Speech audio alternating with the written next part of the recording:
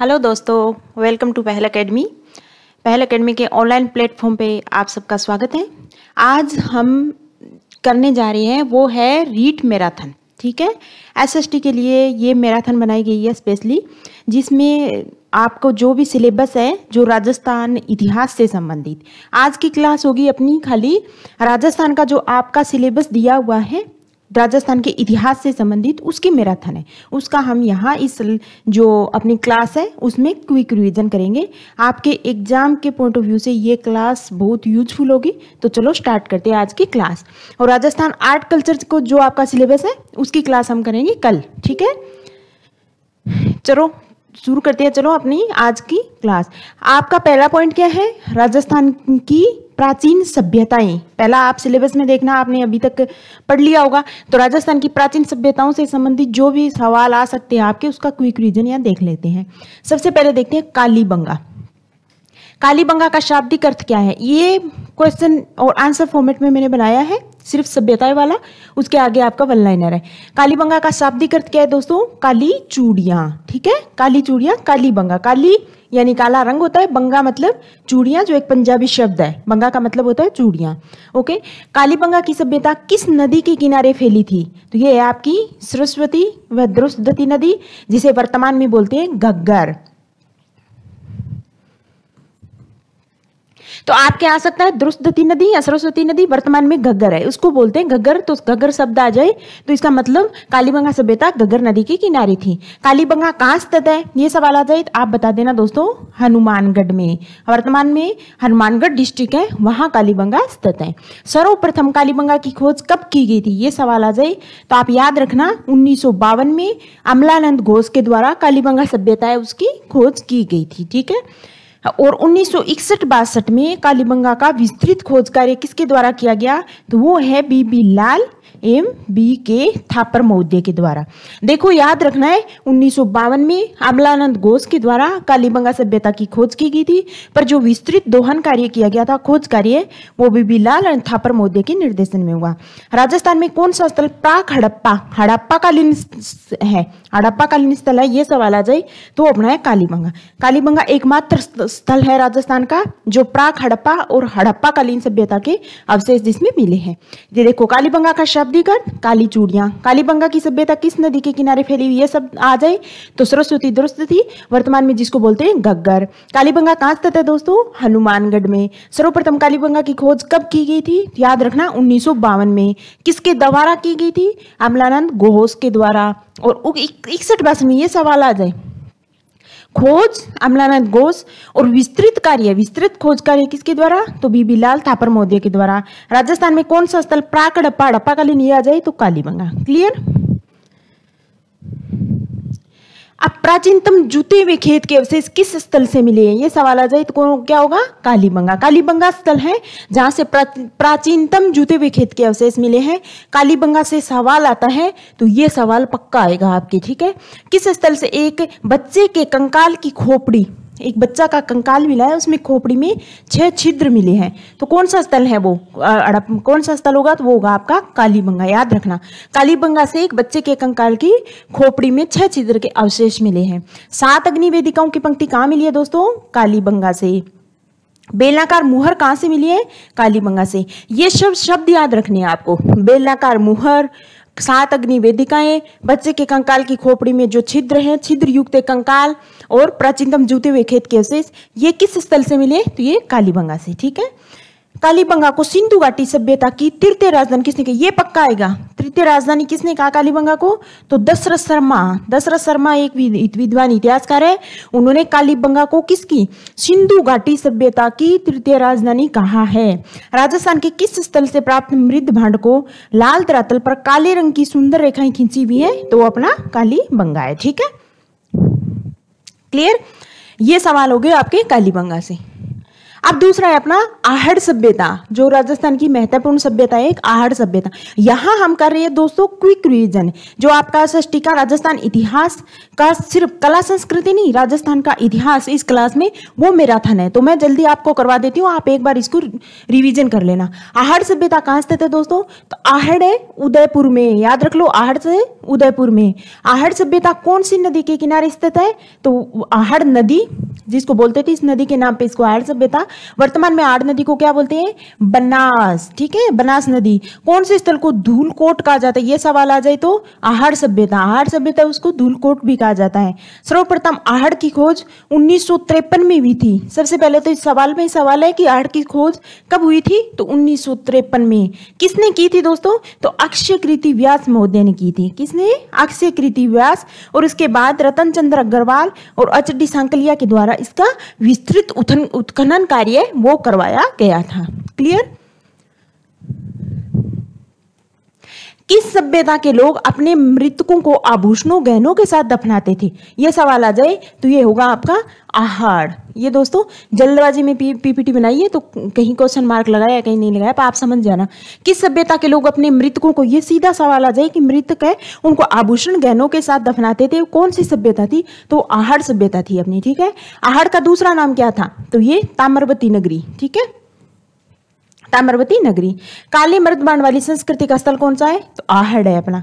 काली मृदबाण मिले हैं। आड़ सभ्यता से प्राप्त उपकरण मुख्यतः निर्मित है। तो वो तांबा। तांबे से निर्मित है। आड़ सभ्यता से प्राप्त उपकरण है। वो तांबे से निर्मित है। आहड़ में अनाज रखने के जो बड़े बड़े मृद भांड होते थे, उनको क्या कहा जाता था? गोरे बांखोट। ये सवाल भी आ सकता है कि गोरे बांखोट निम्न में से क्या थे? तो जो आहड़ में अनाज रखने के बड़े बड़े मृद भांड थे, उनको गोरे बांखोट कहा जाता था। अब तीसरा है अपना गिलुंड। याद रखना दो स्थल कर लिए हमने कालीबंगा और आहड़। तीसरा है गिल्लूड। ये देखो, राजसमंद ज़िले में है। सबसे पहले तो जिला याद रखना कि है कहाँ? राजसमंद ज़िले में स्थित है कौन सी नदी? बनास नदी के किनारे, जहाँ आहड़ है, वही नदी, क्योंकि गिलुंड में आहड़ संस्कृति है, उसी के अवशेष मिले हैं। तो पर जिला बदल गया, राजसमंद जिला बनास नदी के किनारे आहड़ संस्कृति से जुड़ी सभ्यता है। तो ये सवाल आ जाए कि आहड़ सभ्यता से संस्कृति से जुड़ा हुआ निम्न में से कौन सा पुरातात्विक स्थल है? तो हम बता देंगे, गिलुंड है, ठीक है? इसे भी बनास संस्कृति कहते हैं। क्यों कहते हैं? क्योंकि ये भी बनास नदी के किनारे है। उन्नीस सौ में बीबी लाल के निर्देशन में उत्खनन कार्य हुआ था, ठीक है? तो गिलुंड का गाँव था। बीबी लाल के निर्देशन में उत्खनन कार्य कब? उन्नीस सौ उन्नीस में। गिलुंड में पाँच प्रकार के मिट्टी के बर्तन मिले हैं। तो पाँच प्रकार के बर्तन कहाँ मिले हैं? गिलुंड से। आहड़ में पक्की ईंटों का प्रयोग नहीं हुआ, जबकि गिलुंड में हुआ है। याद रखना दोस्तों, ये सवाल आ सकता है कि आहड़ में पक्की ईंटों का प्रयोग हुआ है क्या? बिल्कुल नहीं हुआ। पक्की ईंटों का नहीं कच्ची ईंटों का प्रयोग हुआ है, जबकि गिलुंड है, उसमें पक्की ईंटों का प्रयोग हुआ है। याद रखना आप, ओके? अगला है दोस्तों, गणेश्वर सभ्यता। गणेश्वर बहुत इंपॉर्टेंट है।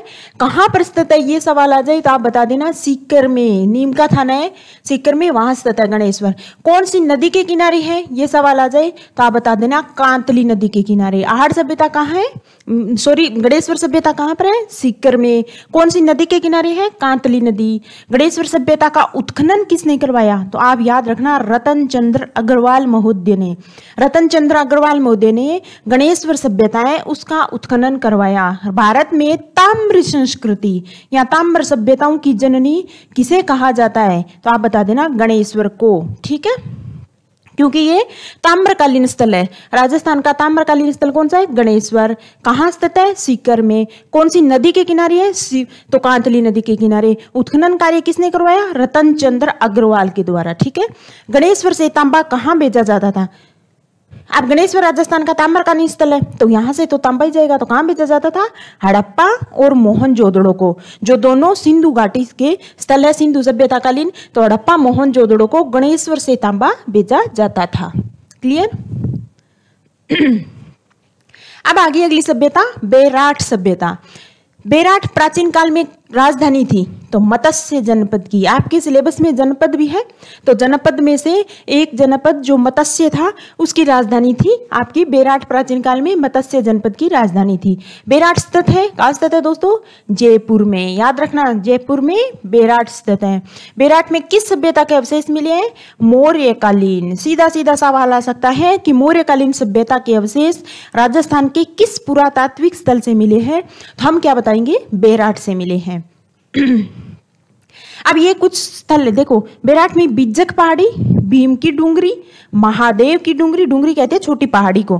कौन सी सभ्यता से संबंधित है? तो ये आपकी बिज्जक डूंगरी, भीम की डूंगरी, महादेव की डूंगरी, ये बेराट सभ्यता से संबंधित है, ठीक है? बेराट में सर्वप्रथम उत्खनन किसने करवाया? दोस्तों, याद रखना, दयाराम साहनी। आपके मिलान करना भी आ सकता है वन लाइनर सवाल भी आ सकता है, पर हमने सब यहाँ पढ़ रहे तो हम अच्छे से कवर कर लेंगे। दयाराम साहनी महोदय उन्होंने बेराट में सर्वप्रथम उत्खनन कार्य करवाया। तो देखो क्या है, बेराट प्राचीन काल में किस, किसकी राजधानी थी? मत्स्य जनपद की राजधानी थी। बेराट कहाँ स्थित है? जयपुर में। किस सभ्यता के विशेष मिले मौर्यकालीन सभ्यता के बीजक डूंगरी, भीम की डूंगरी, महादेव की डूंगरी कौन सी सभ्यता से संबंधित स्थल है? तो बेराट से। बेराट में सर्वप्रथम उत्खनन कार्य किसने करवाया? दयाराम साहनी मोदी ने। अब यहाँ बोल दिया हमने कि मौर्यकालीन स्थल है, ठीक है? मौर्यकालीन सभ्यता है, स्थल है, उसके अवशेष मिले। तो ऐसा क्या मिला देखते हैं। अशोक का बाबरू लेख। याद कर लो दोस्तों अशोक का जो बाबरू लेख है, वो कहाँ से प्राप्त हुआ है? जो अशोक के बोध होने का पुख्ता सबूत है तो वो मिला है अपने बेराट से। अशोक का बाबरू लेख है, जो अशोक का सबसे छोटा विलेख है, नंबर वन, और उससे बुद्ध धम्म संघ की नीति है, उसका उल्लेख मिलता है। यानी अशोक के बोध होने का पुख्ता सबूत कौन सा है? बाबरू लेख। कहाँ से मिला है दोस्तों? बेराट से, ओके? जो जयपुर में है। अब बीजक पहाड़ी कहाँ स्थित है? ऐसे सवाल आ जाए तो आप बता देना। विराट नगर बेराट पहले बेर, बेर, बेराट है उसको विराट नगर भी कहते थे क्योंकि राजा विराट ने इसकी स्थापना की थी। किस स्थल से इंडो ग्रीक शासकों के सिक्के मिले हैं? ये सवाल आ जाए तो आप क्या बताओगे? बेराट से। बेराट से मौर्यकालीन सभ्यता के स्थल अभिलेख में मिले हैं। इसके अलावा इंडो ग्रीक शासक जो क्यों क्यों? मौर्यकालीन सभ्यता है उसके समकालीन थी इंडो ग्रीक तो कहाँ से मिली है? बेराट से। अठारह ईस्वी में बीजकवाड़ी, यानी जो बेराट में स्थित है, बीजकवाड़ी स्थित अशोक के शिलालेख को किसने खोजा?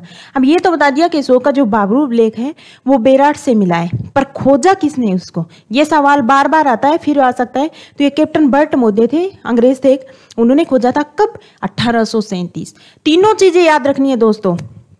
अशोक का शिलालेख जो बाबरू लेख कहाँ मिला है? बेराठ में मिला है। उसकी खोज कब हुई? अठारह में। खोज की किसने? तो कैप्टन बर्ट मोदी ने। क्लियर? अगला है बागोर सभ्यता। बागोर में क्या है देखते हैं? भीलवाड़ा में सबसे पहले याद करो, बागोर सभ्यता कहाँ स्थित है? कौन सा जिला है? भीलवाड़ा। कौन सी नदी है? तो ये अपनी कोठारी नदी है, ठीक है? इसकी खोज किसने की? इसकी खोज की वीएन मिश्र के निर्देशन में एक उत्खनन कार्य हुआ था, किसके? वीएन मिश्र महोदय के। यह मध्यकालीन पाषाण सभ्यता का स्थल है। बागोर है, वो पाषाण काल हमने पढ़ा था बोर्ड में, नव पाषाण पहले पूरा पाषाण काल, फिर मध्य पाषाण काल, फिर नव पाषाण काल। तो जो मध्य पाषाण काल था, उस सभ्यता का राजस्थान में कौन सा स्थल है दोस्तों? बागोर। तांबे के उपकरण यहाँ मिले हैं, जिसमें छेद वाली सुई सबसे महत्वपूर्ण है। तो ये सवाल आ जाए कि छेद वाली सुई है वो कहाँ से प्राप्त हुई है? जो तांबे का उपकरण है तो वो अपनी बागोर से। यहाँ से कृषि पशुपालन के प्राचीनतम साक्ष्य मिले है। इस लाइन के रहते और कोई आ ही नहीं सकता। ये सबसे इंपॉर्टेंट है कि राजस्थान में मध्यकालीन पाषाण पाषाण सभ्यता का स्थल जहाँ से कृषि पशुपालन के साक्ष्य मिले हैं कौन सा है? तो बागोर है। बागोर है क्या? भीलवाड़ा में। ओके?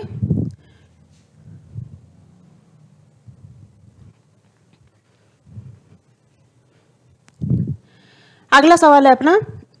अब अन्य महत्वपूर्ण सभ्यताएँ हैं। अन्य महत्वपूर्ण सभ्यता में सबसे पहले बीनमाल जालोर की सब, की सभ्यता है जिसका उत्खनन, बीनमाल कहाँ है? जालोर में। जिसका उत्खनन किसने करवाया? आर सी अग्रवाल महोदय ने। यहाँ से एक रोमन एम्फोरा यानी सूरा पान यूनानी सूराई मिली है, ठीक है?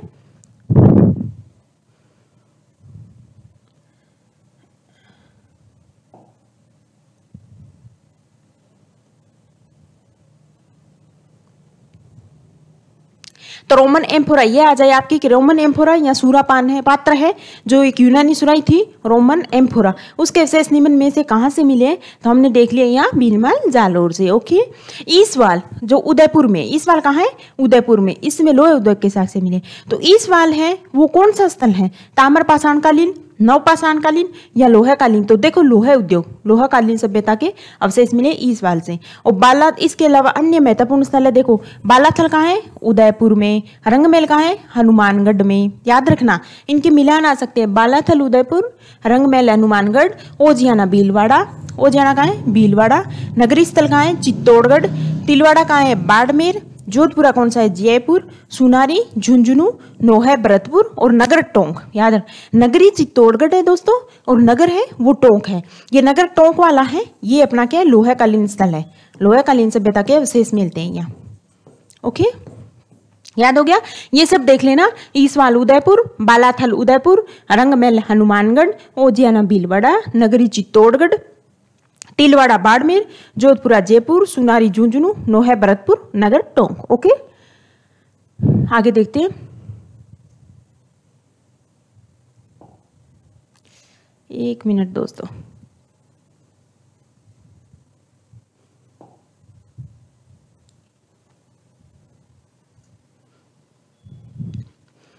चलो, आगे क्या है अपना? अब राजस्थान की जो प्राचीन सभ्यताएँ हैं, वो सब कंप्लीट हो गई है अपनी, ठीक है? राजस्थान की प्राचीन सभ्यताएँ, आपका पहला पॉइंट है, उसका क्विक रिविजन हमने कर लिया। अब दूसरा है आपका पॉइंट राजस्थान के जनपद, वो देखते हैं। बौद्ध साहित्य कौन सा, बौद्ध साहित्य कौन सा? अंगुत्तर निकाय। इसमें सोलह महाजनपद की सूची मिलती है। तो सवाल आ जाए दोस्तों आपके, सोलह महाजनपद की सूची निम्न में से किस ग्रंथ में मिलती है? तो बौद्ध साहित्य अंगुत्तर निकाय। इसमें कितने महाजनपद की सूची मिलती है? सोलह। इन सोलह में से एक है अपना, मत्स्य जनपद, जिस जो कहाँ स्थित था? राजस्थान में, ठीक है? तो मत्स्य जनपद उसमें से कौन, कहाँ है? राजस्थान में स्थित है, सबने देखा था। चित्तौड़ और आसपास का जो मत्स्य जनपद है, इसके बारे में हम आगे विस्तृत पढ़ेंगे। इसके अलावा चित्तौड़ और आसपास का क्षेत्र है, वो सीवी जनपद का हिस्सा था। सीवी जनपद था तो उसमें कौन सा क्षेत्र शामिल था? ये आ जाए तो चित्तौड़ और आसपास का क्षेत्र। सीवी जाति का उल्लेख सर्वप्रथम दोस्तों ऋग्वेद में मिलता है, नगरी जनपद की राजधानी थी। तो सीवी जनपद की राजधानी क्या थी? ये सवाल आ जाए तो हम क्या बताएँगे? कि नगरी थी। और इस सीवी जाति का उल्लेख सर्वप्रथम कहा मिलता है? ऋग्वेद में। चित्तौड़गढ़ और उसका आसपास का क्षेत्र सीवी जनपद में राजस्थान का कौन सा हिस्सा शामिल था? ये आ जाए तो हम क्या बताएँगे? चित्तौड़गढ़ और उसके आसपास का क्षेत्र। अब सूरसेन जनपद है, वो कहाँ गए भरतपुर, याद रखना, धौलपुर, करौली, इसका क्षेत्र।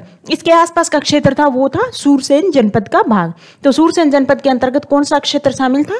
तो भरतपुर भरतपुर, धौलपुर, करौली का क्षेत्र। इसकी राजधानी क्या थी दोस्तों? मथुरा। सूरसेन जनपद की राजधानी क्या थी?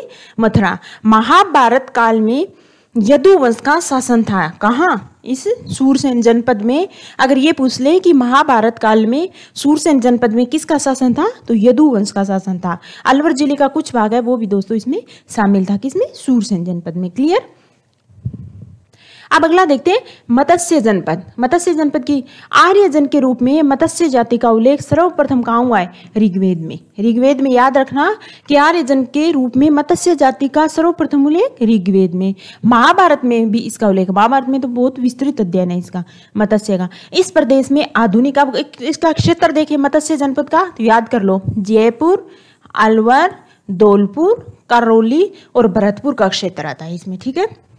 जनरली इसमें जयपुर अलवर का क्षेत्र माना जाता है, मत्स्य जनपद। महाभारत काल में यहाँ का शासक कौन था दोस्तों? विराट। सीधा सीधा सवाल आएगा कि महाभारत काल में मत्स्य जनपद है, उसका शासक कौन था? तो हम बता देंगे, विराट। जिसने विराट नगर, जिसको बेराट कहते हैं, को मत्स्य जनपद की राजधानी बनाया।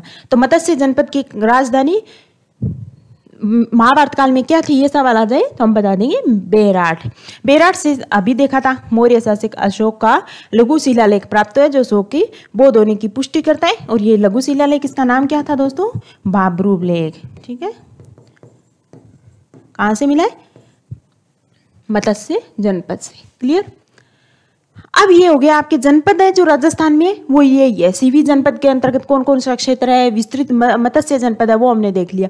अब देखते हैं राजस्थान के प्रमुख राजवंश कौन कौन से हैं, जिसका उल्लेख करते हैं। गुहिल वंश, सबसे पहले देखते हैं गुहिल वंश। गोहिल वंश का शासन कहाँ था दोस्तों? उदयपुर, राजसमंद, चित्तौड़गढ़, प्रतापगढ़ इसके आसपास का क्षेत्र मेवाड़ कहलाता था। तो मेवाड़ में गुहिल वंश का शासन था और वो उसका क्षेत्र क्या था? उदयपुर, राजसमंद, चित्तौड़गढ़ और प्रतापगढ़ का क्षेत्र। गुहिल वंश ने मुख्यतः मेवाड़ में शासन किया। इस वंश का नामकरण, इस वंश के प्रतापी शासक गुहिल है, उसी के नाम पर हुआ। अब इसने देखते हैं बप्पा रावल। दिख रहा है आपको? बप्पा ने सात सौ गुहिल के बाद आए बप्पा रावल, दोस्तों। बप्पा ने सात सौ चौंतीस ईस्वी में चित्तौड़ के शासक मानमोरी को पराजित कर चित्तौड़ पर अधिकार किया। तो चित्तौड़ के शासक थे मानमोरी इसको किसने पराजित किया? ये सवाल आ जाए तो हम बता देंगे बप्पा रावल ने। और यहाँ से रावल शाखा चल गई थी इसमें मेवाड़ में। बप्पा की राजधानी क्या थी दोस्तों? नागदा। सीधा सीधा सवाल आएगा, याद कर लो कि जो बप्पा रावल थे उसकी राजधानी नागदा। एकलिंग जी के मंदिर का निर्माण करवाया था किसने? बप्पा रावल ने। एकलिंग जी को गोहिल क्या मानते हैं? गोहिल वंश के लोग कुल देवता कौन है?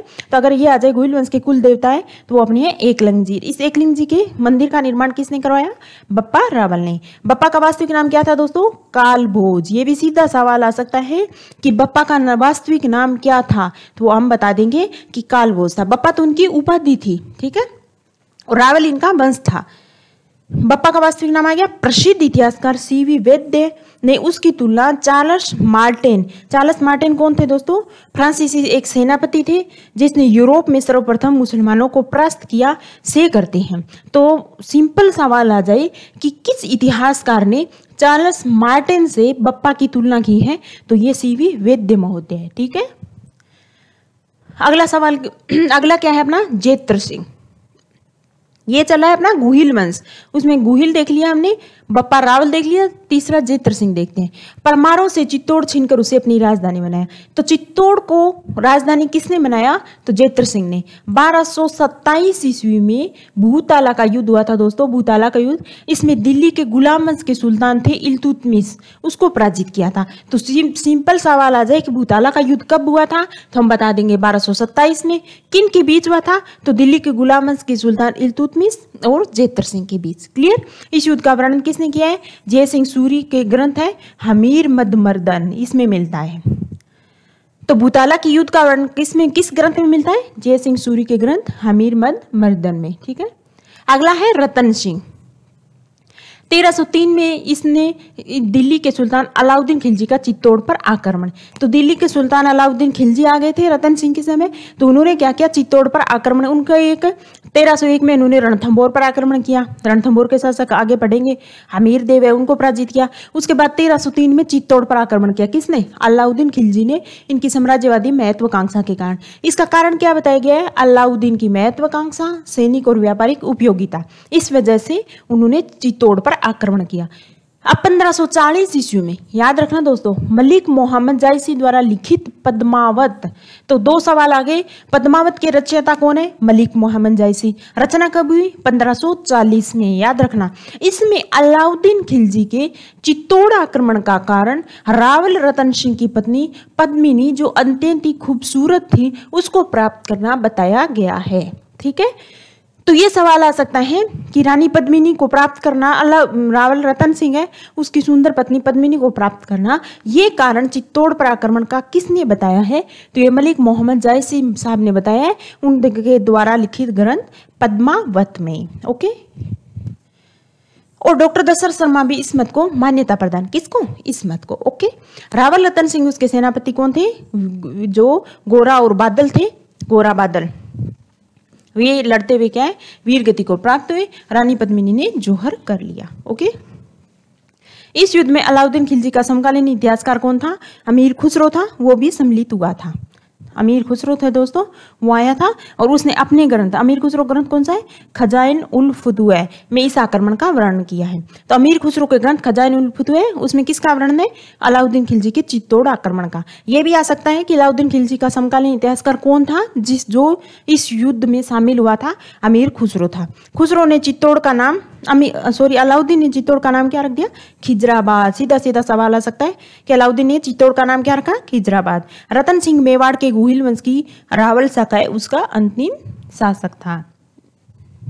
अब बप्पा रावल ने रावल शाखा शुरू की थी, उसका अंतिम शासक कौन था? रतन सिंह था। तो ये सवाल आ जाए कि जो मेवाड़ है, उसकी रावल रावल शाखा, रावण नहीं, रावल शाखा, उसका अंतिम शासक कौन था? तो वो थे अपने रतन सिंह। ठीक है? अब दूसरा देखते हैं, राणा हमीर। ये आ गया गुहिल वंशी चल रहा है उसमें। सिसोदा का जागीरदार था तो उन्होंने सिसोदिया कहा जाने लगा। ये आ गया अपने मेवाड़ के सिसोदिया। उसमें पहला कौन है? राणा हमीर देख रहे हैं। हमीर को मेवाड़ के उद्वारक की संज्ञा दी जाती है। तो मेवाड़ के उद्वारक की संज्ञा निम्न में किसको दी जाती है? हमीर को। ठीक है? राणा अमीर को। राणा अमीर को विषम घाटी पंचानन की संज्ञा राणा कुंभा की कीर्ति स्तंभ प्रशस्ति में दी गई है। राणा कुंभा भी मेवाड़ के साथ सकते आगे देखेंगे। उनके कीर्ति स्तंभ प्रशस्ति, उसमें कि राणा अमीर को कौन सी संज्ञा दी गई है किसकी? तो वो विषम घाटी पंचानन की। हमीर को सिंगोली का युद्ध। याद रखना दोस्तों, वो बांसवाड़ा में स्थित है। सिंगोली कहाँ है? बांसवाड़ा में। मोहम्मद बिन तुगलक को पराजित किया था। तो अमीर ने सिंगोली के युद्ध में जो बांसवाड़ा में स्थित है, सिंगोली का युद्ध, सिंगोली बांसवाड़ा में मोहम्मद बिन तुगलक को पराजित किया था। किसको पराजित किया था? मोहम्मद बिन तुगलक को। अगला है महाराणा लाखा। लाखा ने जावर में एक ही इंपॉर्टेंट काम किया था। लाखा के काल में एक इंपॉर्टेंट काम हुआ था। जावर में सीसा और चांदी का उत्खनन कार्य करवाया था। किसका? सीसा और चांदी का। कहा, किस कहा, जावर में किसने महाराणा लाखा ने? और लाखा के टाइम में एक बंजारा था, उसने पिछोला झील का निर्माण करवाया। तो सवाल आ जाए कि पिछोला झील है, उसका निर्माण किस मेवाड़ के शासक ने करवाया था? तो ये अपना होगा राणा लाखा के काल में। ओके क्लियर महाराणा कुंभा देखते हैं अगला। 1433 में दोस्तों मेवाड़ का शासक बना था कुंभा मोदय चौदह में सारंगपुर का युद्ध। सबको पता है सारंगपुर का युद्ध कब हुआ था? चौदह में किस किस के बीच? मेवाड़ के महाराणा सांगा और मालवा के मोहम्मद खिलजी के बीच। याद रखना, इसमें मोहम्मद खिलजी को पराजित कर दिया था। किसने? महाराणा कुंभा ने। इस विजय के उपलक्ष्य में कीर्ति स्तंभ का निर्माण करवाया था। तो किसको पराजित करके? महाराणा कुंभा ने कीर्ति स्तंभ का निर्माण करवाया। मालवा के शासक मुहम्मद खिलजी को। ओके? 1456 में चंपानेर की संधि आ सकती है। चंपानेर की संधि कब हुई? 1456 में हुई। अब मालवा के शासक मोहम्मद खिलजी पराजित हो गए। इधर गुजरात का शासक था कुतुबुद्दीन वो भी क्या महाराणा कुंभा से परेशान था। तो उन्होंने क्या किया? दोनों ने एक संघ बनाया था, इस संधि के तहत। जो मालवा के मोहम्मद खिलजी, जिसको सारंगपुर में कुंभा ने पराजित किया, और गुजरात के जो कुतुबुद्दीन है, उन दोनों के बीच हुई थी। ये आ सकती है किन किन के बीच हुई थी? इसका कारण ये था कि दोनों मिलेंगे, संगठित होंगे, और महाराणा कुंभा को एक साथ पराजित करेंगे, पर ये ऐसा हो नहीं सका, ठीक है? अब कुंभा की सांस्कृतिक उपलब्धि हम देखते हैं। सिरोही, याद रखना दोस्तों, ये आ सकता है सिरोही अचलगढ़ कुंभलगढ़ के प्रसिद्ध दुर्गों का निर्माता। कौन? महाराणा कुंभा। कवि राजा श्यामल दास, उन्हें मेवाड़ के चौरासी, टोटल कितने? 84 उसमें से 32 दुर्गों का निर्माता मानते हैं। ये सीधा सवाल आ सकता है, चौरासी में से बत्तीस दुर्गों का निर्माता मेवाड़ में कौन है? तो हम बता देंगे महाराणा कुंभा। किसने माना है? कवि राजा श्यामल दास ने। कुंभलगढ़ के दुर्ग का शिल्पी कौन था दोस्तों? मंडन। अभी भी देखा हमने कि कुंभलगढ़ के दुर्ग का निर्माण करवाया, इसका शिल्पी कौन है? मंडन। कुंभा ने चित्तौड़ में, आप देख कहा? चित्तौड़ में कुंभ स्वामी श्रृंगार चौरी का मंदिर, एकलिंग जी का विष्णु मंदिर, रणकपुर का मंदिर बनवाए। तो कौन कौन से मंदिर? चित्तौड़ में कुंभ स्वामी मंदिर, श्रृंगार चौरी का मंदिर, एकलिंग जी के मंदिर का रणकपुर के मंदिर का निर्माण महाराणा कुंभा के काल में हुआ था। कुंभा द्वारा रचित ग्रंथ देखते हैं दोस्तों। संगीत राज संगीत मीमांसा सूड प्रबंध, ठीक है? सूट प्रबंध तो कुंभा द्वारा रचित ग्रंथ कौन से संगीत राज, संगीत मीमांसा सूट प्रबंध आ सकते हैं, याद रखना। गीत गोविंद और संगीत रत्नाकर है, उस पर उन्होंने टीका लिखी थी। कवि अत्रि और महेश, याद रखना। ने कीर्ति स्तंभ प्रशस्ति की रचना की। तो कीर्ति स्तंभ प्रशस्ति है, उसके रचयिता कौन है? कवि अत्रि और महेश है। अभिनव व्रताचार्य की उपाधि, वैसे तो बहुत उपाधि थी, पर ये वेरी इंपॉर्टेंट है। तो इसकी उपाधि संगीत में रुचि होने के कारण, दोस्तों। याद रखना, संगीत में इतनी ज़्यादा रुचि थी कि कुंभा को कौन सी उपाधि दी गई थी? तो अभिनव व्रताचार्य की। या अभिनव व्रताचार्य की उपाधि निम्न में किसको प्राप्त थी? महाराणा कुंभा को। इसके अलावा दान देते थे जब दान गुरु, हाल गुरु, परम गुरु, हिंदू सुरतान, अन्य उपाधियाँ ये किसकी है? कुंभा की, ठीक है? यहाँ हम विस्तृत चर्चा नहीं कर सकती। क्विक रीजन कर रही है दोस्तों। राणा सांगा देखते हैं अगला कुंभा के बाद। अगला सांगा, जो मेवाड़ का इंपॉर्टेंट शासक है। देखो 1517 में महाराणा सांगा ने खातोली। खातोली कहाँ है? वर्तमान कोटा ज़िले में है, के युद्ध में दिल्ली के सुल्तान इब्राहिम लोधी को पराजित किया। तो खातोली का युद्ध किस किस के बीच हुआ? माराणा सांगा और दिल्ली सुल्तान इब्राहिम लोधी के बीच। कब हुआ दोस्तों? पंद्रह में। सांगा की सेना ने इसके अलावा बाडी जो धौलपुर में स्थित है। इसमें भी इब्राहिम लोधी को पराजित किया। तो जो अपना था खातोली का युद्ध और बांडी का युद्ध, इस दोनों में तो इब्राहिम लोधी को पराजित किया। पर बयाना का युद्ध, उसके बाद आगे मुगल। तो बयाना का युद्ध जो फरवरी 27 में हुआ था, पंद्रह में, राणा सांगा की सेना ने बाबर को पराजित किया बयाना। पर 17 मार्च 1527 को हुआ था खानवा का युद्ध, ये आता है बहुत पेपर में। तो बाबर और राणा सांगा के बीच हुआ, जिसमें बाबर ने तोपखाना, तुलुगुमा युद्ध पद्धति का प्रयोग किया था। इस युद्ध में बाबर की विजय हुई, क्लियर? मांडलगढ़ में इसकी समाधि है किसकी? महाराणा सांगा की। अगला शासक है उदय सिंह। किसके काल में था? अकबर के काल में। इधर मुगल शासक हैं जो कि अकबर और मेवाड़ का शासक था, राणा उदय सिंह। तो उदय सिंह के काल में अक्टूबर पंद्रह में क्या किया? अकबर का चित्तौड़ पर आक्रमण हुआ। किले की रक्षा का भार किसको सौंपा गया? तो कब याद रखना, हर एक लाइन इंपॉर्टेंट है। अक्टूबर पंद्रह में आक्रमण हुआ था। जैमल और फत्ता नामक दो सेना न्यायिक थे। उनके द्वारा किले की रक्षा की गई थी। इनकी वीरता से इतना प्रभावित हुआ अकबर कि इन दोनों की प्रतिमाएँ जो आगरा के किले के द्वार है, उस पर रखी। ठीक है? जयमल फत्ता की मूर्तियाँ आगरा के किले के बाहर लगवाई किससे उसकी वीरता से प्रभावित होकर हो गया? ठीक है? अगला है महाराणा प्रताप। ये यहाँ गलती से हो गया। ये यहाँ लिखना था। तो उदय सिंह के बाद महाराणा प्रताप आई मेवाड़ के शासक। मुगलों से बचकर युद्ध का प्रबंध करने के लिए अपना निवास स्थान महाराणा प्रताप ने कहा बनाया? सीधा सीधा सवाल आ जाए तो कुंभलगढ़ को अपना निवास स्थान बनाया। अकबर द्वारा समझौते के लिए चार शिष्ट मंडल भेजे गए थे। ये सवाल आता है दोस्तों। चार शिष्ट मंडल, उनका कर्म क्या था? तो देखते हैं क्या क्या था। महाराणा प्रताप है।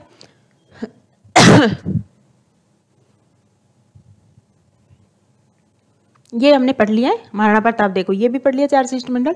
ये गलती से हो गया। अब कौन कौन से थे चार शिष्ट मंडल देखो, जलाल, पहला आया जलाल खां के नेतृत्व में, दूसरा आया मान सिंह, तीसरा भगवान दास चौथा, टोडरमल। चारों का कर्म याद रखना दोस्तों, ठीक है? अपने आप सन अपने आप आ जाएँगे। हमको रखना है कि महाराणा प्रताप के खिलाफ चार से, खिलाफ नहीं, समझौता करने के लिए। अकबर ने क्या किया था? चार शिष्टमंडल भेजे थे। वो चार शिष्टमंडल किसके नेतृत्व में थे, ठीक है? उनका कर्म क्या था? तो कर्म था पहले जलाल खां, फिर मान सिंह, फिर भगवान दास, फिर टोडरमल, ठीक है? उसके बाद भी कुछ नहीं हुआ। तो लास्ट में हो गया इनके बीच में हल्दी घाटी का युद्ध, ठीक है? कब हुआ था? 18 जून पंद्रह में। किसकी बात चली है या यहाँ बात चली है? मुगल शासक अकबर और मेवाड़ का शासक महाराणा प्रताप। इन दोनों के बीच में हुआ था हल्दी घाटे का युद्ध। कब हुआ?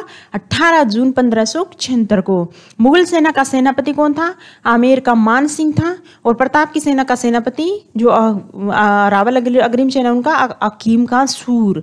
हकीम का सूर, प्रताप की सेना का सेनापति, मुगल सेना का सेनापति, आमेर का मान सिंह अब इस हल्दी घाटी के युद्ध को विभिन्न विद्वानों ने अलग अलग नाम दिए हैं, वो देखते हैं क्या है। अबुल फजल ने क्या कहा है इसको? खमनोर का युद्ध कहा है। खमनोर का युद्ध हल्दी घाटी के युद्ध को खमनोर का युद्ध निम्न में किस विद्वान ने कहा है? अबुल फजल ने। बंदायोनी ने क्या कहा है दोस्तों? गोगुंदा का युद्ध। कर्नल जेम्स टोड ने इसको हल्दी घाटी का युद्ध कहा है, जो प्रचलित है, ठीक है? पंद्रह, फिर पंद्रह सौ के बाद आता है पंद्रह सौ बयासी। इसमें होता है दिवेर का युद्ध, ठीक है? ये भी मुगल और महाराणा प्रताप के बीच होता है, पर यहाँ महाराणा प्रताप की तरफ़ से कुंवर अमर सिंह और मुगल अधिकारी देखे तो सुल्तान खां इनके बीच होता है। बाई चांस ये भी आ जाए तो ये भी बता देना महाराणा प्रताप की तरफ़ से कुंवर अमर सिंह थे और मुगल अधिकारी थे सुल्तान खां, इनके बीच हुआ था। कर्नल टोड ने, याद रखना दोस्तों, कर्नल टोड ने दिवेर के युद्ध को क्या कहा है? मेवाड़ का मेराथन का है। तो कर्नल टोड ने हल्दी घाटी के युद्ध को तो हल्दीघाटी का युद्ध जो प्रचलित हो गया नाम, पर दिवेर का युद्ध है, उसको मेवाड़ का मेराथन कहा है। अगला है राणा अमर सिंह। क्यों? महाराणा प्रताप के? उसके बाद आ गए अमर सिंह। इसके काल में ये हुआ था 1613 में मुगल सम्राट जहांगीर द्वारा अजमेर पहुँचना, पहुंचाना नहीं, पहुँचना। ये कई कई बार क्या मिस प्रिंट हो जाता है। आप इनकी तरफ़ ध्यान मत देना। और खुर्रम को मेवाड़ अभियान का नेतृत्व सौंपना। किसने? जहांगीर ने। 1615 याद रखना, इनके काल की एक ही घटना है 1600 पंद्रह मुगल शासक जहांगीर और मेवाड़ महाराणा अमर सिंह के बीच संधि हो गई। जो महाराणा प्रताप, उनके टाइम से ये चल रहा था, वो सब समाप्त हो गया। किस मेवाड़ शासक के समय, राणा अमर सिंह के समय, कब हुआ था? 1615 में। क्लियर उसके बाद अगला शासक इंपॉर्टेंट है। ये कर्मवाई शासक नहीं है। जो वेरी इंपॉर्टेंट है, वहाँ उन शासकों की ये सूची है। महाराणा अमर सिंह के बाद आए महाराणा राज सिंह। राज सिंह के समय एक है किशनगढ़ जो अजमेर में है। इसकी राजकुमारी थी दोस्तों चरुमती, नहीं, चारुमती। चारुमती विवाद किस किस के बीच हुआ था, सबको बताएँ मेवाड़ के महाराणा राज सिंह और और उधर मुगल सम्राट कौन हो गए थे? औरंगज़ेब। चारुमती को लेकर राज सिंह एवं मुगल सम्राट औरंगज़ेब के बीच विवाद हुआ। सोलह में औरंगज़ेब ने क्या किया?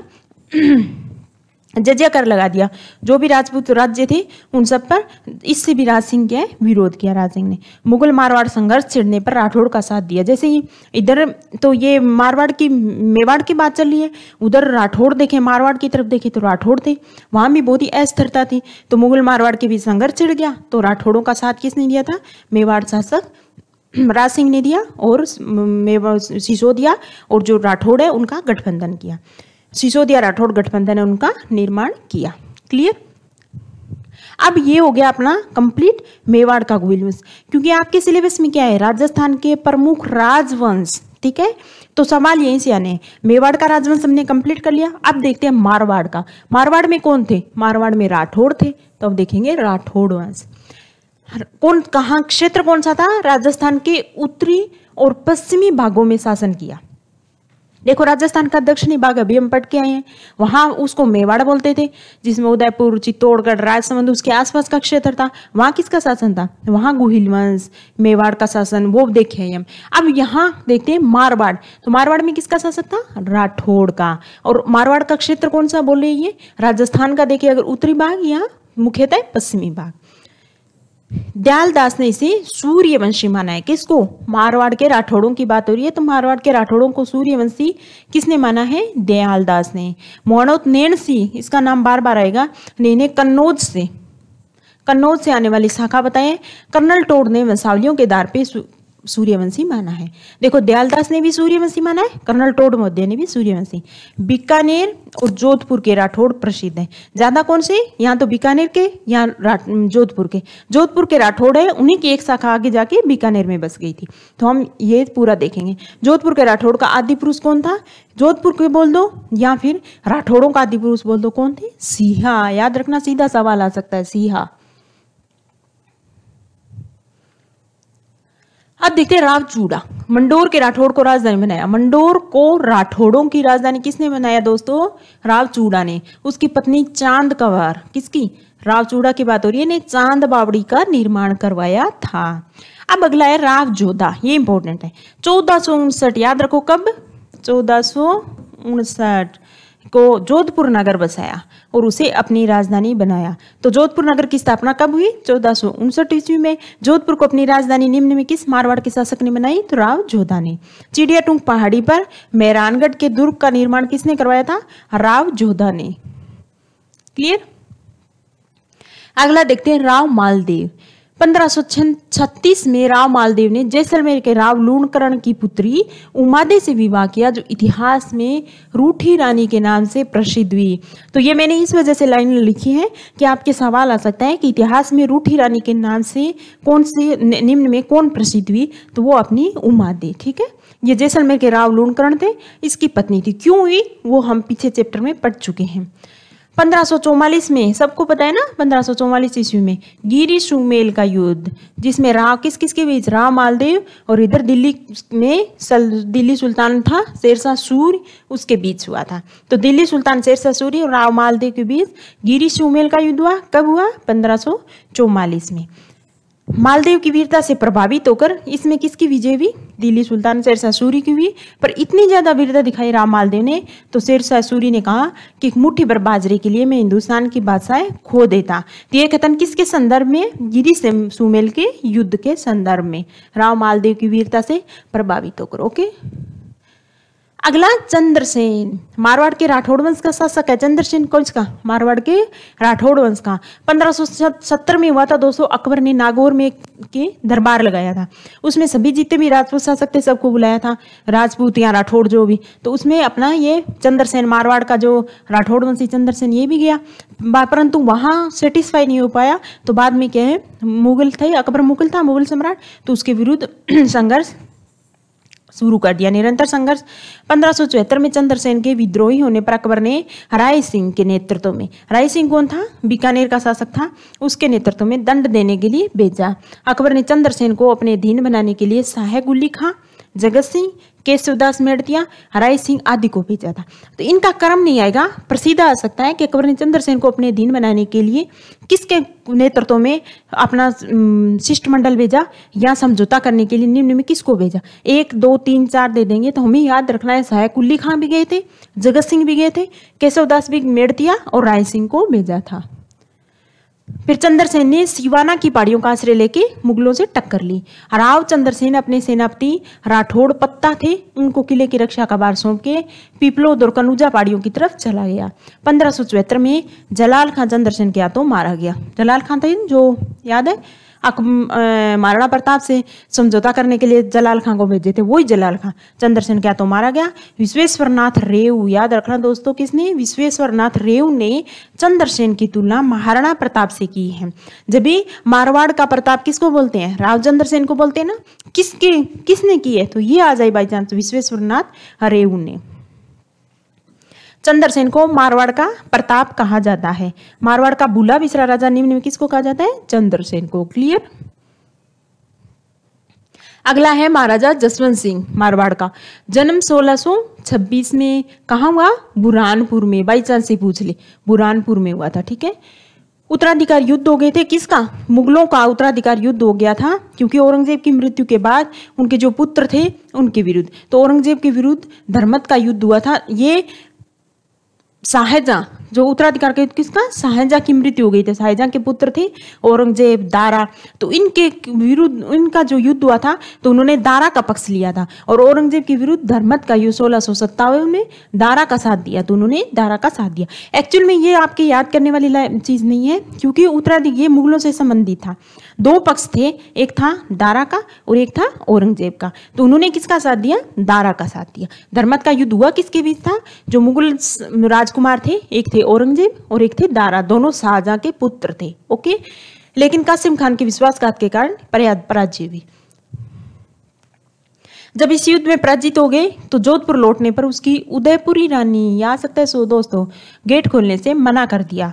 कछवा नरेश जय सिंह थे कि मध्यस्थता से औरंगज़ेब और जसवंत सिंह में समझौता हुआ। तो ये आ सकता है कि औरंगज़ेब मुगल सम्राट था, और ये जो जय सिंह थे, ये अपने कछवा शासक थे तो इन दोनों की, दोनों के जो मुगल थे और जो अपना जसवंत सिंह था, मारवाड़ का शासक, इन दोनों के बीच में जो सुलह समझौता करवाया, वो निम्न में किसकी अध्यक्षता में हुआ? तो जय सिंह की मध्यस्थता में, ओके? 1678 में जमरूद में मृत्यु हो गई। किसकी? जसवंत सिंह की दोस्तों। उसके दरबार में याद रखना ये, सूरत मिश्र नरहरिदास, नवीन कवि बनारसीदास आदि प्रसिद्ध विद्वान थे और सबसे इंपॉर्टेंट मोहन और नैणसी उसका दरबारी कवि जिसने नैन से ख्यात और मारवाड़ प्रगनारी विगत की रचना की थी। तो मारवाड़ रे प्रगना कर विगत, नैन से ख्यात जिसमें इस नैन से ख्यात में क्या है दोस्तों? मारवाड़ का जो इतिहास है जो उसका वर्णन है, ठीक है? क्लियर अब ये हो गए अपने जोधपुर वाले। अब देखते हैं बीकानेर में कौन कौन से थे। तो बीकानेर के राठौड़ वंश में सबसे इंपॉर्टेंट है राव बीका क्योंकि बीकानेर की स्थापना की थी। तो मारवाड़ के शासक जो राव जोधा थे ना जोधा साहब ने तो क्या किया जोधपुर की स्थापना कर ली। वहाँ मार राठौड़ वंश की स्थापना कर दी। और उन्हीं के एक पुत्र थे जो थे बिक्का उन, उन्होंने क्या किया एक तरफ़ जाके बीकानेर की स्थापना करके वहाँ बीकानेर के राठौड़ों की नींव डाल दी। चौदह में करणी माता के आशीर्वाद से नवीन राज्य बीकानेर की स्थापना की। जब बीकानेर के राठौड़ों की कुलदेवी कौन है? करणी माता। चौदह सौ अट्ठासी में बीकानेर की स्थापना हुई, ठीक है? देश नोक यहाँ प्रिंट नहीं हुआ।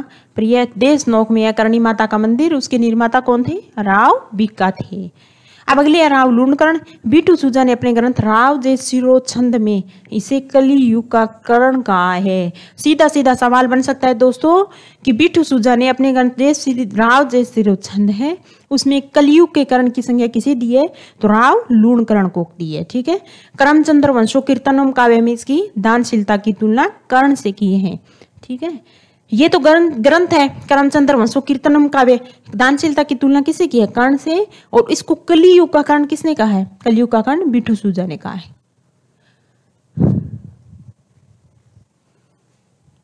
राव जेतसी राव जेतसी के काल में एक ही काम हुआ था, पंद्रह सौ इकतालीस याद रखना दोस्तों। साहिबा कह दो चाहे पहिबा का युद्ध कह दो। इसमें मालदेव की सेना से लड़ते हुए वीर गति को प्राप्त हुए थे। तो राव जेतसी अब साहिबा पाइबा का युद्ध किस किस के बीच हुआ था? अपना बीकानेर के राठौड़ के साथ राठौड़ वंश के साथ सकते राव जेतसी और इधर मालदेव की सेना थी, उनसे मालदेव के बीच, दोनों के बीच युद्ध हुआ था, जिसमें राव जेतसी की पराजय हुई थी कब हुआ था? 1541 में। अब राव कल्याणमल देखते हैं बीकानेर का। खानवा के युद्ध में राणा सांगा की ओर से भाग लिया था। सिंपल सा सवाल आ जाए कि खानवा की युद्ध में राणा सांगा की ओर से भाग लिया था निम्न में किसने? वो सूची बाद में देखेंगे। फ़िलहाल याद रखना, राव कल्याणमल ने खानवा के युद्ध में राणा सांगा का साथ दिया था। और गिरी सुमेल का युद्ध हुआ ना दोस्तों जब? किस किस के बीच? मालदेव और शेरशाह सूरी के बीच, अभी देखा? उसमें शेरशाह सूरी का साथ दिया था, याद रखना। शेरशाह सूरी की ओर से भाग लिया था। 1570 में अकबर के जो नागौर दरबार अभी हम बात की थी, उसमें शामिल हुआ और शामिल ही नहीं हुआ। मुगल अधीनता स्वीकार करने वाला पहला राठौड़ शासक था। याद रखना राठौड़ शासक। राठौड़ों में सबसे पहले मुगल अधीनता किसने स्वीकार की थी? राव कल्याणमल ने। उसके पुत्र राय सिंह को फिर, राय सिंह अभी देखा हमने, पीछे पड़ के आए। तो राय सिंह ने अकबर ने, राय सिंह को अकबर ने जोधपुर का प्रशासक नियुक्त कर दिया। तो अकबर ने जोधपुर का प्रशासक निम्न में किसको नियुक्त किया? राय जय सिंह को, राय, राव, जय कल्याणमल के पुत्र थे, राय सिंह को, ठीक है? वही उसका दूसरा पुत्र था पृथ्वीराज। किसकी बात हो रही है? कल्याणमल की बात हो रही है। राठौड़ शासक था, जिसने सबसे पहले मुगलों की अधीनता स्वीकार की। राठौड़ याद रखना, राजपूत बात नहीं कर रही मैं। राठौड़, उनके दो पुत्र थे, एक था राय सिंह, एक था पृथ्वीराज। राय सिंह को तो अकबर ने क्या किया? जोधपुर का प्रशासक नियुक्त कर दिया।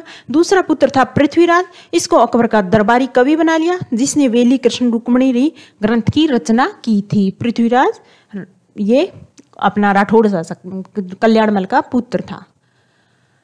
अगला है राव राय सिंह। अभी हम देखें, अकबर ने पंद्रह में इसको जोधपुर का प्रशासक नियुक्त किया। राय सिंह ने बीकानेर की जूनागढ़ दुर्ग का निर्माण करवाया था। तो जूनागढ़ का दुर्ग कहाँ है दोस्तों? एक तो ये याद रखना, बीकानेर में। निर्माता कौन है? राय सिंह है। तथा किले के दरवाजे पर जयमल फत्ता की पाषाण मूर्तियाँ इसने भी लगवाई। किले के भीतर इसने एक राय सिंह प्रशस्ति, उसको रचना की। मुंशी देवी प्रसाद। याद रखना, मुंशी देवी प्रसाद ने इसे राजपुताने का कारण कहा तो राजपुताने के कर्ण की संख्या किसको बोली जाती है? मुंशी देवी प्रसाद। क्योंकि मुंशी देवी प्रसाद ने राव, जो राय सिंह था, उसको राजपुताने के करण की संज्ञा दी, मुंशी देवी प्रसाद ने। क्यों? क्योंकि भीषण काल से निपटने तो इसने बहुत अधिक धन खर्च किया था। अगला है राव करण सिंह। इसने मुगल सम्राट शाहजहां के दक्षिण में महत्वपूर्ण भूमिका निभाई। करण सिंह ने यहाँ मुगल सम्राट शाहजहां गए थे तो उनकी जो दक्षिण अभियान था, उसमें महत्वपूर्ण भूमिका निभाई। जखनिया गाँव के सीमावाद को लेकर इसका नागौर के शासक अमर सिंह से युद्ध हुआ। कब? सोलह से चौवालीस में हुआ। जनरली सोलह माना जाता है, जिसको बोलते हैं मतीरे की राड। ठीक है? कहाँ? जाखनिया गाँव बोल के पास था, याद रखना। आपकी ये भी आ सकता है। और किस किस के बीच? तो नागौर के अमर सिंह और राव करण सिंह के बीच हुआ, मतीरी की राड़ हुई थी। चिंतामणि भट्ट के गण सुख सप्त सप्तशती में करण सिंह को जंगल दरबादशाह की संज्ञा दी गई है। जंगल दरबादशाह की संज्ञा निम्न में किसको दी गई है? राव करण सिंह को किसने दिए है? चिंतामणि भट्ट ने दी है। और ग्रंथ का नाम सुख सप्तशती क्लियर कर्ण सिंह ने साहित्य कल्पद्रुम देखो उसके दरबारी कर्ण सिंह ने खुद क्या साहित्य कल्पद्रुम की रचना की और उसके दरबारी विद्वान थे गंगानंद जी ने। गंगानंद, उन्होंने करण भूषण और काव्य डाकिनी नामक ग्रंथ है उसकी रचना की है। अब देखते हैं, ये देखो, अपना कंप्लीट क्या हो गया? एक तो गुहिल वंश कंप्लीट हो गया, यानी मेवाड़ का पूरा। और दूसरा देख लिया हमने मारवाड़ का राठौड़ वंश। अब अगला चैप्टर चलते हैं, हम सागंबरी के चौहान कंप्लीट करते हैं कि वो क्या, कैसे थे।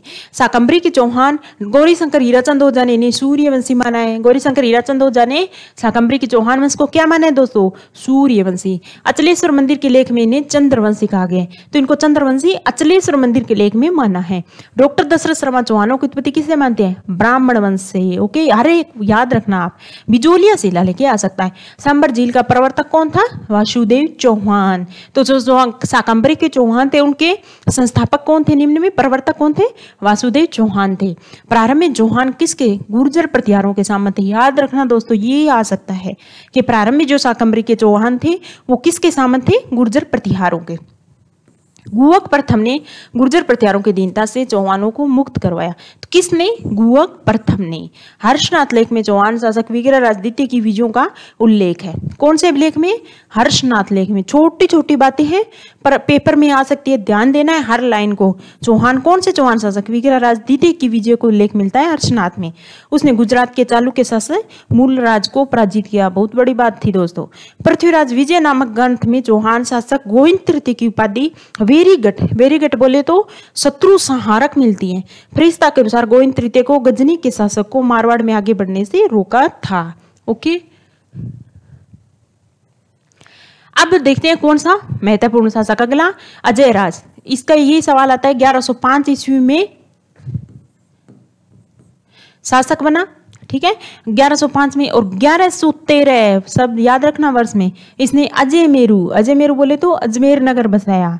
अजय प्रिय द्रम्ब नामक चांदी तांबे के सिक्के चलाए अजय राज शेव के साथ धर्मशेषनु शासक था पासरोनाथ के जैन मंदिर को स्वर्ण कलश प्रदान किया था। तो याद रखना है, ग्यारह अजय मेरू, अजमेर नगर के संस्थापक अजय राज। दूसरा है अर्णोराज। इसने अजमेर में आना सागर झील के निर्माता कौन है? अर्णोराज। पुष्कर में ब्रह्म मंदिर के निर्माता कौन है? अर्णोराज। यह भी एक धर्म शासक अजमेर में खतरगछ के अनुयायियों के लिए भूमि दान दी। ये सवाल आ सकता है क्योंकि बोर्ड में दिया हुआ है। दोस्तों, अजमेर में जो खत्तरगज के अनुयायी थे, उसको भूमि दान निम्न में किसने दी थी? तो अपने साकंबरी के सोहान शासक थे अर्णोराज उन्होंने दी थी, ठीक है? देवबोध, धर्मघोष उसके समय के प्रकांड विद्वान थे। तो देवबोध और धर्मघोष प्रकांड विद्वान किसके शासनकाल में थे? अर्णोराज के काल में।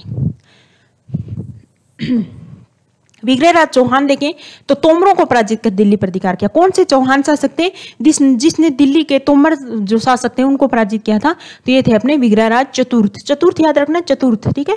ये दिल्ली पर अधिकार करने वाले पहले चौहान शासक थे जयानक भट्ट ने इसे कवि बांधव की उपाधि दी है। तो कवि बांधव की उपाधि निम्न में किसको प्राप्त है?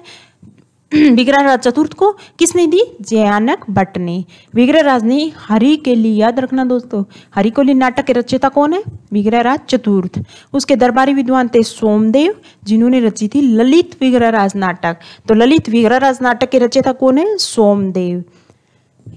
इसने अजमेर में एक संस्कृत पाठशाला बनाकर उस पर जो हरी के लिए नाटक, उसकी पंक्तियाँ खुदवाई थी। पर कालांतर में जो अजमेर में यह संस्कृत पाठशाला थी, इसको तुड़वाकर कुतुबुद्दीन ऐबक ने ढाई दिन का चौपड़ा एक मस्जिद बनवा दी थी। बिसलपुर बाँध के निर्माता विग्रह राजा अपने चतुर्थ हैं और बिसलपुर झील भी बनवाई। ओके?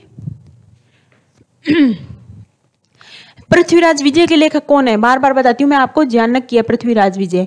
ने लिखा है कि जब विग्रहराज की मृत्यु होगी तो कोई बंधु की उपाधि निरर्थक होगी, क्योंकि इस उपाधि को धारण करने वाले किसी में क्षमता नहीं थी। सोमदेव, हमने देखा था इनके, जिन्होंने विग्रहराज को ललित विग्रहराज के रचे थे ना, सोमदेव। को वीरों में नहीं, वन विद्वानों में भी अग्रणी मानता है। किलहोर्न विदेशी विद्वान था, ने भी उसकी विद्वता की प्रशंसा करते हुए लिखा है कि वह उन हिंदू शासकों में से एक व्यक्ति था, जो कालिदास भवभूति की होड़ कर सकता था। तो जो विग्रहराज चतुर्थ है, उनकी कालिदास और भवभूति से तुलना निम्न में किस विद्वान ने की है?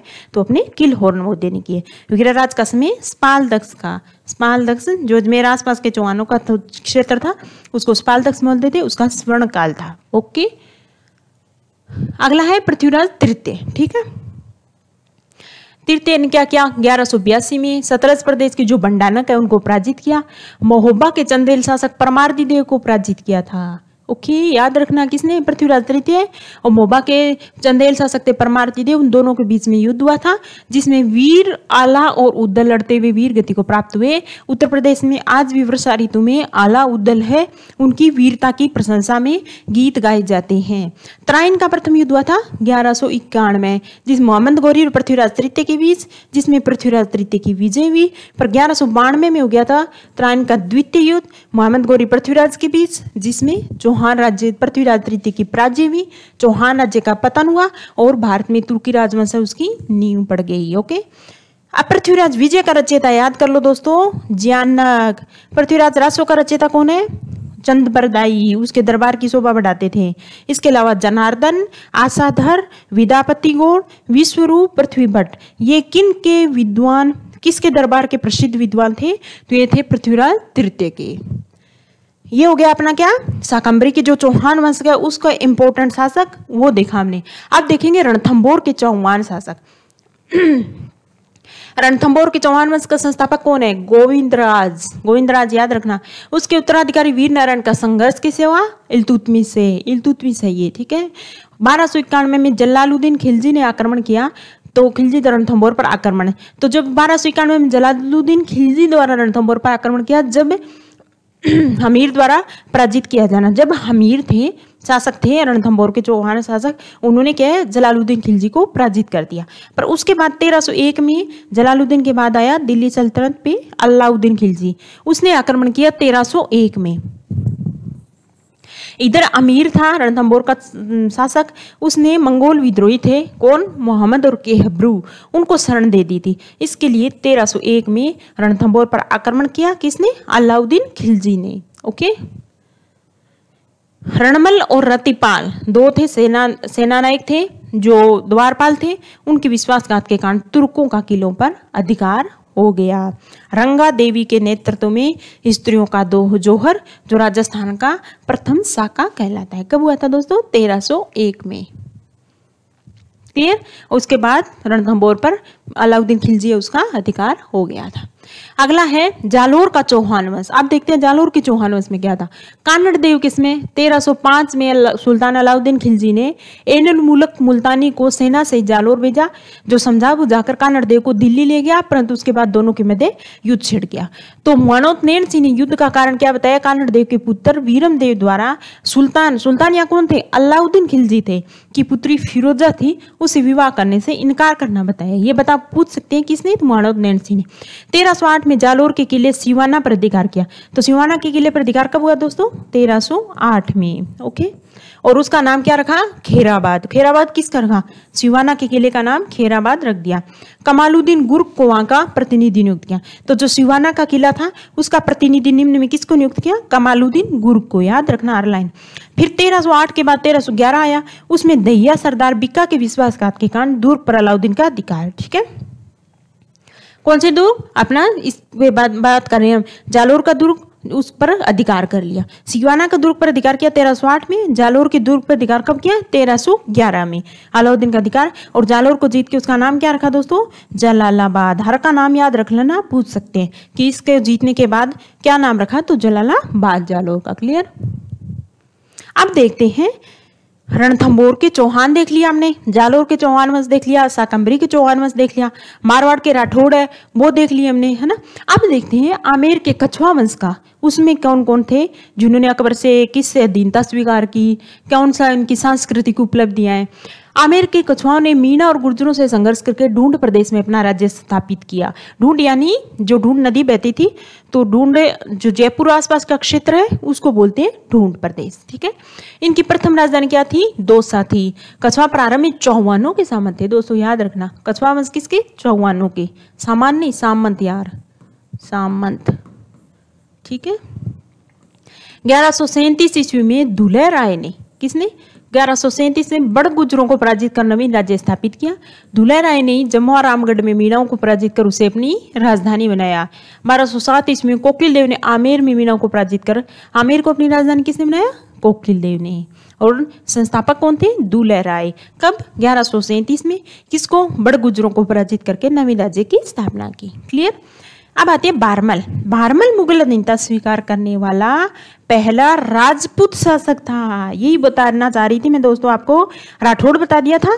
पर ऐसे आ जाए कि मुगल अधीनता स्वीकार करने वाला पहला राजपूत शासक निम्न में कौन है? तो वो होगा बारमल। ओके? अजमेर से लौटते इसमें सांबर में बारमल ने पंद्रह में अपनी पुत्री हरका बाई बाई नहीं, बाई हरका बाई जिसे कालांतर में मरियम उजमानी नाम से जाना जाता है, का विवाह अकबर से कर दिया का पंद्रह में। जहांगीर है, वो हरका बाई का पुत्र है, पुत्र था, है नहीं? अब मान सिंह, अगला शासक। आमेर का कछवा शासक, सबको पता है? अकबर जहांगीर दो मुगल सम्राटों की सेवा की थी मान सिंह ने। अकबर के नवरत्नों में निम्न में कौन सा कछवा शासक शामिल था? तो मान सिंह। अकबर ने इसे फरजंद की उपाधि दी थी। किसकी उपाधि दी थी? फरजंद। की उपाधि किसको? मान सिंह को। और सात हज़ार का मनसब किसको दिया? मान सिंह को। जहांगीर ने बादशाह बनने के बाद जो राजा मान सिंह है, उसके मनसब में थोड़ी कटौती कर दी थी। मान सिंह ने पंद्रह में याद रखना, उड़ीसा जीतकर उसे मुगल साम्राज्य का अंग बनाया। कब? पंद्रह में। अकबर का नवरत्न था ये मान सिंह, जिसे बंगाल, उड़ीसा, बिहार में अफगानों का विद्रोह दबाने में महत्वपूर्ण भूमिका निभाई। इसीलिए अकबर का इतना ज़्यादा चाहता था कि उसे सात हज़ार का मनसब दिया।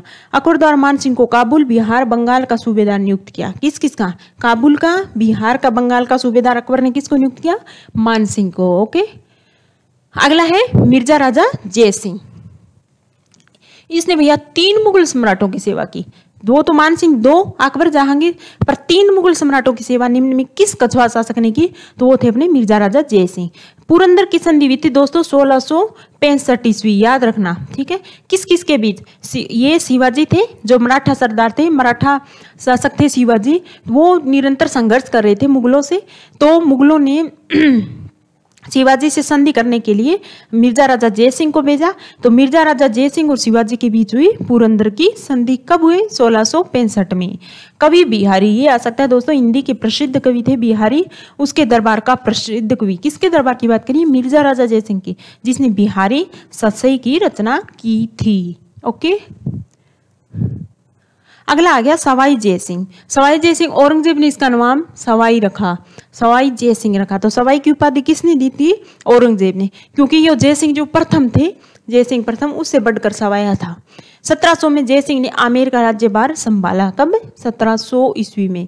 1707 में औरंगज़ेब की मृत्यु के बाद उत्तराधिकारी युद्ध में जय सिंह ने आज़म का पक्ष लिया। यहाँ वही सेम उत्तराधिकारी युद्ध, जो पहले शाहजहां की मृत्यु के बाद जो औरंगज़ेब दारा के बीच हुआ था, वही औरंगज़ेब की मृत्यु के बाद उसके पुत्र आज़म और मोजम के बीच हुआ। तो जय सिंह जो स्वाई जय सिंह कछवा शासक थे उन्होंने आज़म का साथ दिया, मगर विजयी हो गए मोजम जो बहादुर साहब प्रथम के नाम से शासक बन गए, जिसने आमेर पहुँच के, आमेर, फिर क्या हुआ? बहादुर बहादुर साहब प्रथम मोजम थे, वो विजयी हुए तो वो आमेर पहुँच गए। आमेर जाके उन्होंने क्या किया? आमेर पर अधिकार कर लिया। और आमेर का नाम क्या रखा दोस्तों? मोमिनाबाद, ओके? स्वाई जय सिंह के काल में एक महत्वपूर्ण घटना हुई, सत्रह सौ ईस्वी में। क्या हुआ था कि राजपूत राजा थे, उन्होंने स्वाई जय सिंह ने ये प्रस्ताव दिया और सत्रह में हुआ। तो इसमें ये बोला कि सब राजपूत राजा उस समय क्या है मराठों का आक्रमण होने लगा था, राजस्थान में बहुत ज़्यादा। तो उस मराठा आक्रमण से बचने के लिए ये बोला कि सत्रह में राजपूत राजाओं का हुडा में एक सम्मेलन हुआ दोस्तों। हुडा कहाँ है? भीलवाड़ा में। शब्द याद रखने हैं, ताकि सभी राजपूत संगठित होकर मराठों का मुकाबला कर सके। तो हुडा सम्मेलन सत्रह कब हुआ था? कहाँ हुआ था? भीलवाड़ा में। उड़ा कहा है? भीलवाड़ा में। स्वाई जय सिंह ने सत्रह में बूंदी के मामले में हस्तक्षेप किया था। यह एक पूरी कहानी है जो पीछे हम पढ़ चुके हैं, जिसमें मराठों को राजस्थान की आंतरिक राजनीति में हस्तक्षेप करने का अवसर मिल गया। क्योंकि स्वाई जय सिंह ने बूंदी मामले में हस्तक्षेप किया।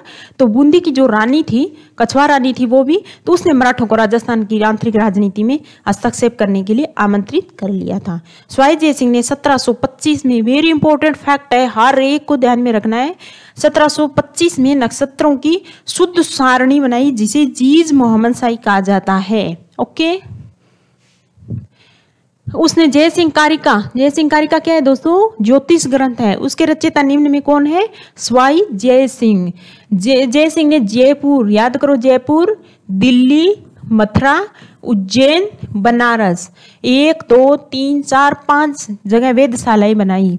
जयपुर की जो वेदशाला है, इसे क्या बोलते हैं? जंतर मंतर, है ना? सबसे बढ़िया ये। और जुलाई 2010 याद रखना है शब्द, जयपुर की वेदशाला जंतर मंतर, जुलाई 2010 में यूनेस्को द्वारा विश्व धरोहर सूची है, उसमें जंतर मंतर को शामिल कर लिया गया है। ओके?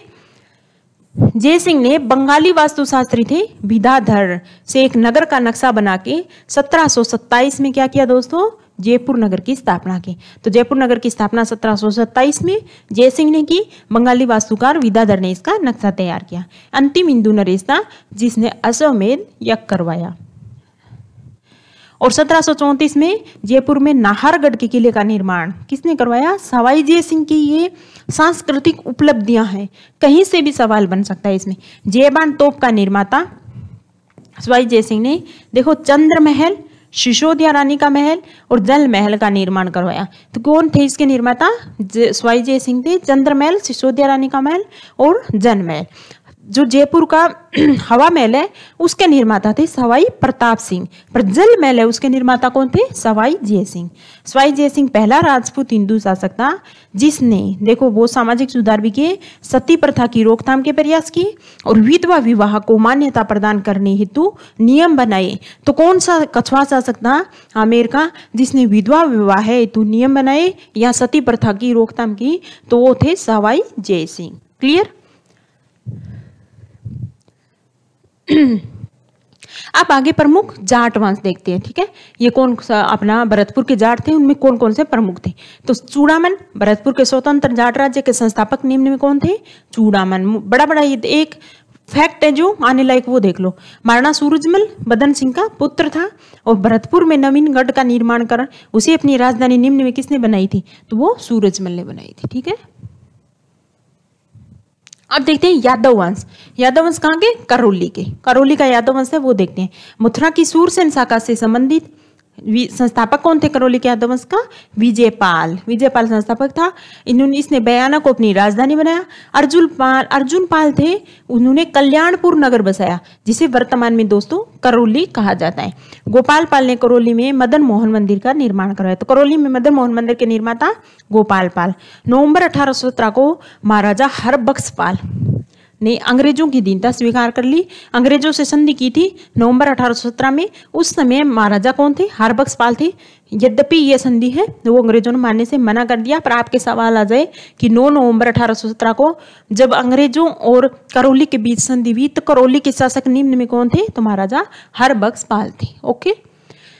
परमार वंश देखते हैं तो आबू के आसपास का क्षेत्र है, वो परमारों का क्षेत्र था। जो आबू सिरोही का क्षेत्र है ना वो, संस्थापक कौन थे? धूमराज, याद रखना, ठीक है?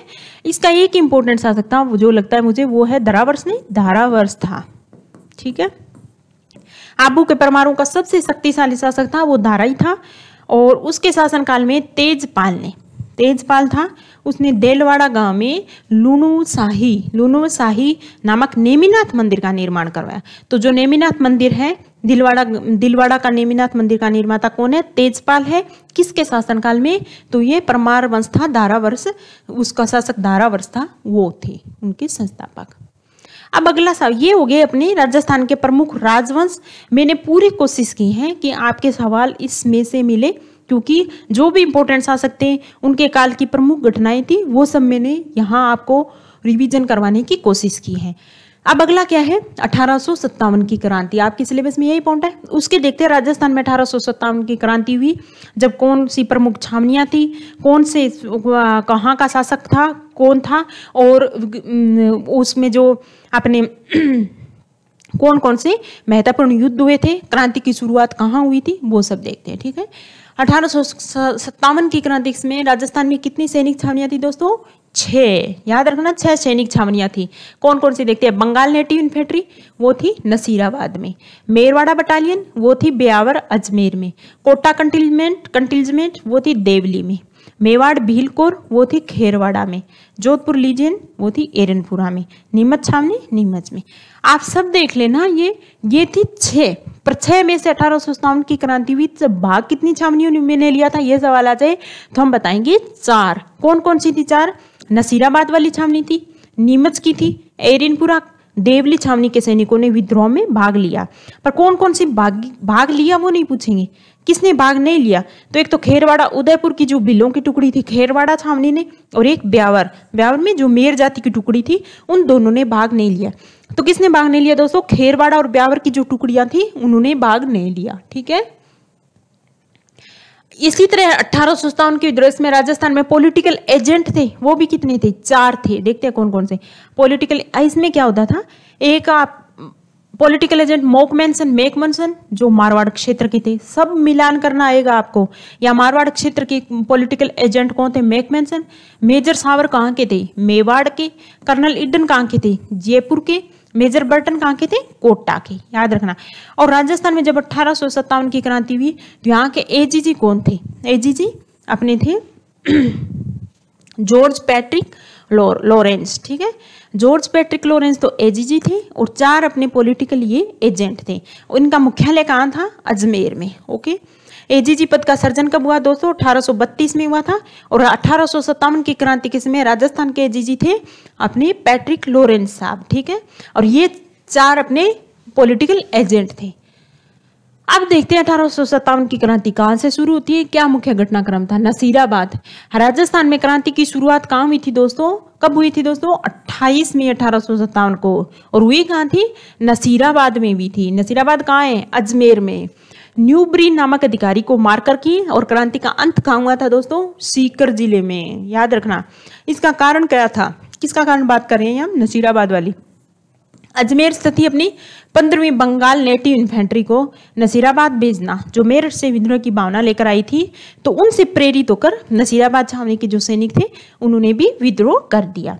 ठाकुर डूंगर सिंह ने नसीराबाद की सैनिक छावनी पर आक्रमण कर उसे लूट लिया था।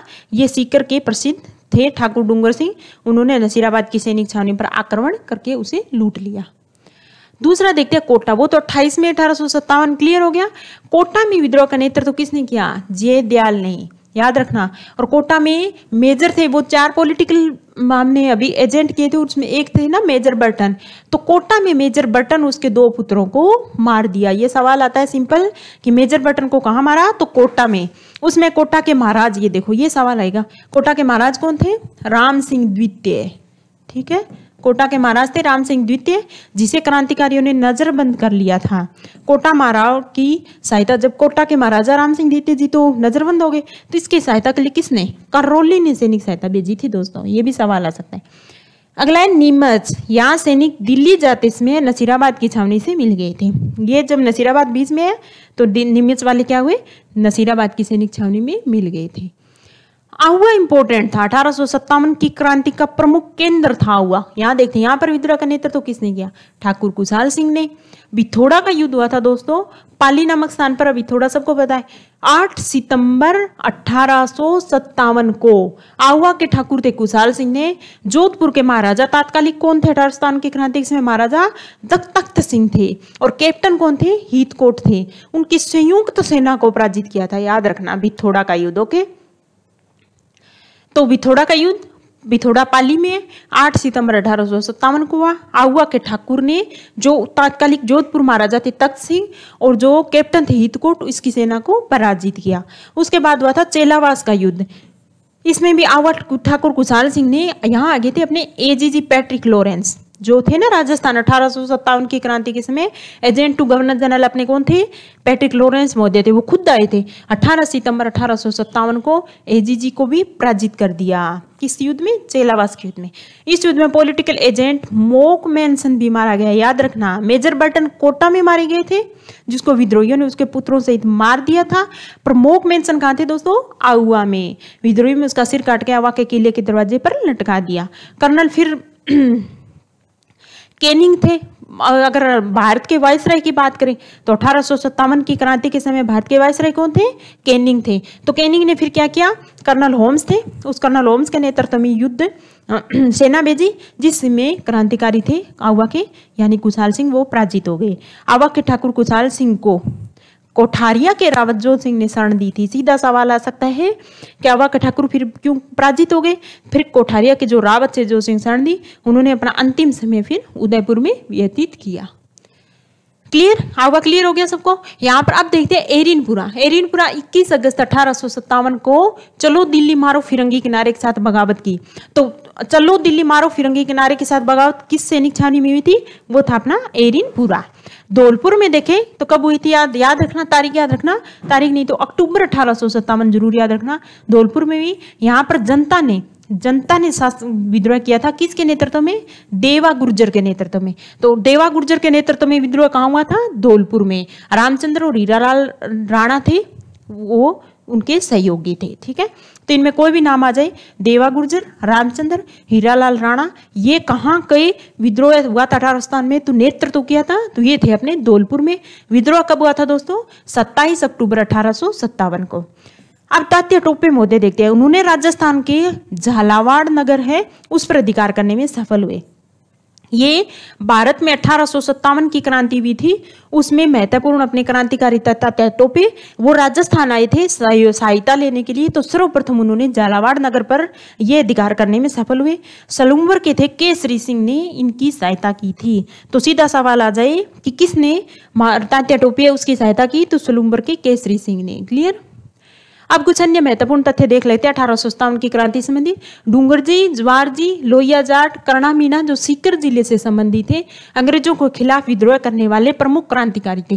किसी का भी नाम आ जाए डूंगरजी ज्वारजी लोहिया जाट कर्णा मीना ये सब सीकर से संबंधित है सवाल यही होगा कहाँ से संबंधित क्रांतिकारी? सीकर ज़िले से। अठारह की क्रांति में अमरचंद बांटिया याद रखना दोस्तों, इसने झांसी की रानी, ये भी तात्या टोपी की तरह, लक्ष्मीबाई थी, रानी लक्ष्मीबाई थी, महत्वपूर्ण क्रांतिकारी थी, उनको आर्थिक सहायता दी थी किसने? अमरचंद बांटिया को, इस वजह से इसको बामा साहेब बोला जाता है, ठीक है? बीकानेर के महाराजा थे, ये सवाल कभी भी बन सकता है, सरदार सिंह एकमात्र ऐसे शासक थे, जिसने अपनी सेना लेकर रियासत के बाहर अंग्रेज़ों की सहायता की। तो अठारह की क्रांति के समय कौन सी रियासत थी जिसके शासक ने अपनी सेना लेके और अंग्रेज़ों की सहायता करने के लिए रियासत से बाहर गए थे? तो वो थे बीकानेर। और बीकानेर के शासक कौन थे? महाराजा सरदार सिंह। अब अगला है अपना राजस्थान का एकीकरण। ये पाँच मिनट का गैप लेके हम पढ़ेंगे ठीक है?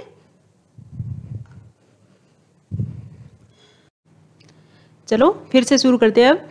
अब हमारा अगला टॉपिक है राजस्थान के एकीकरण। ठीक है? आपके सिलेबस में देखो, राजस्थान का एकीकरण क्लियर दे रखा है।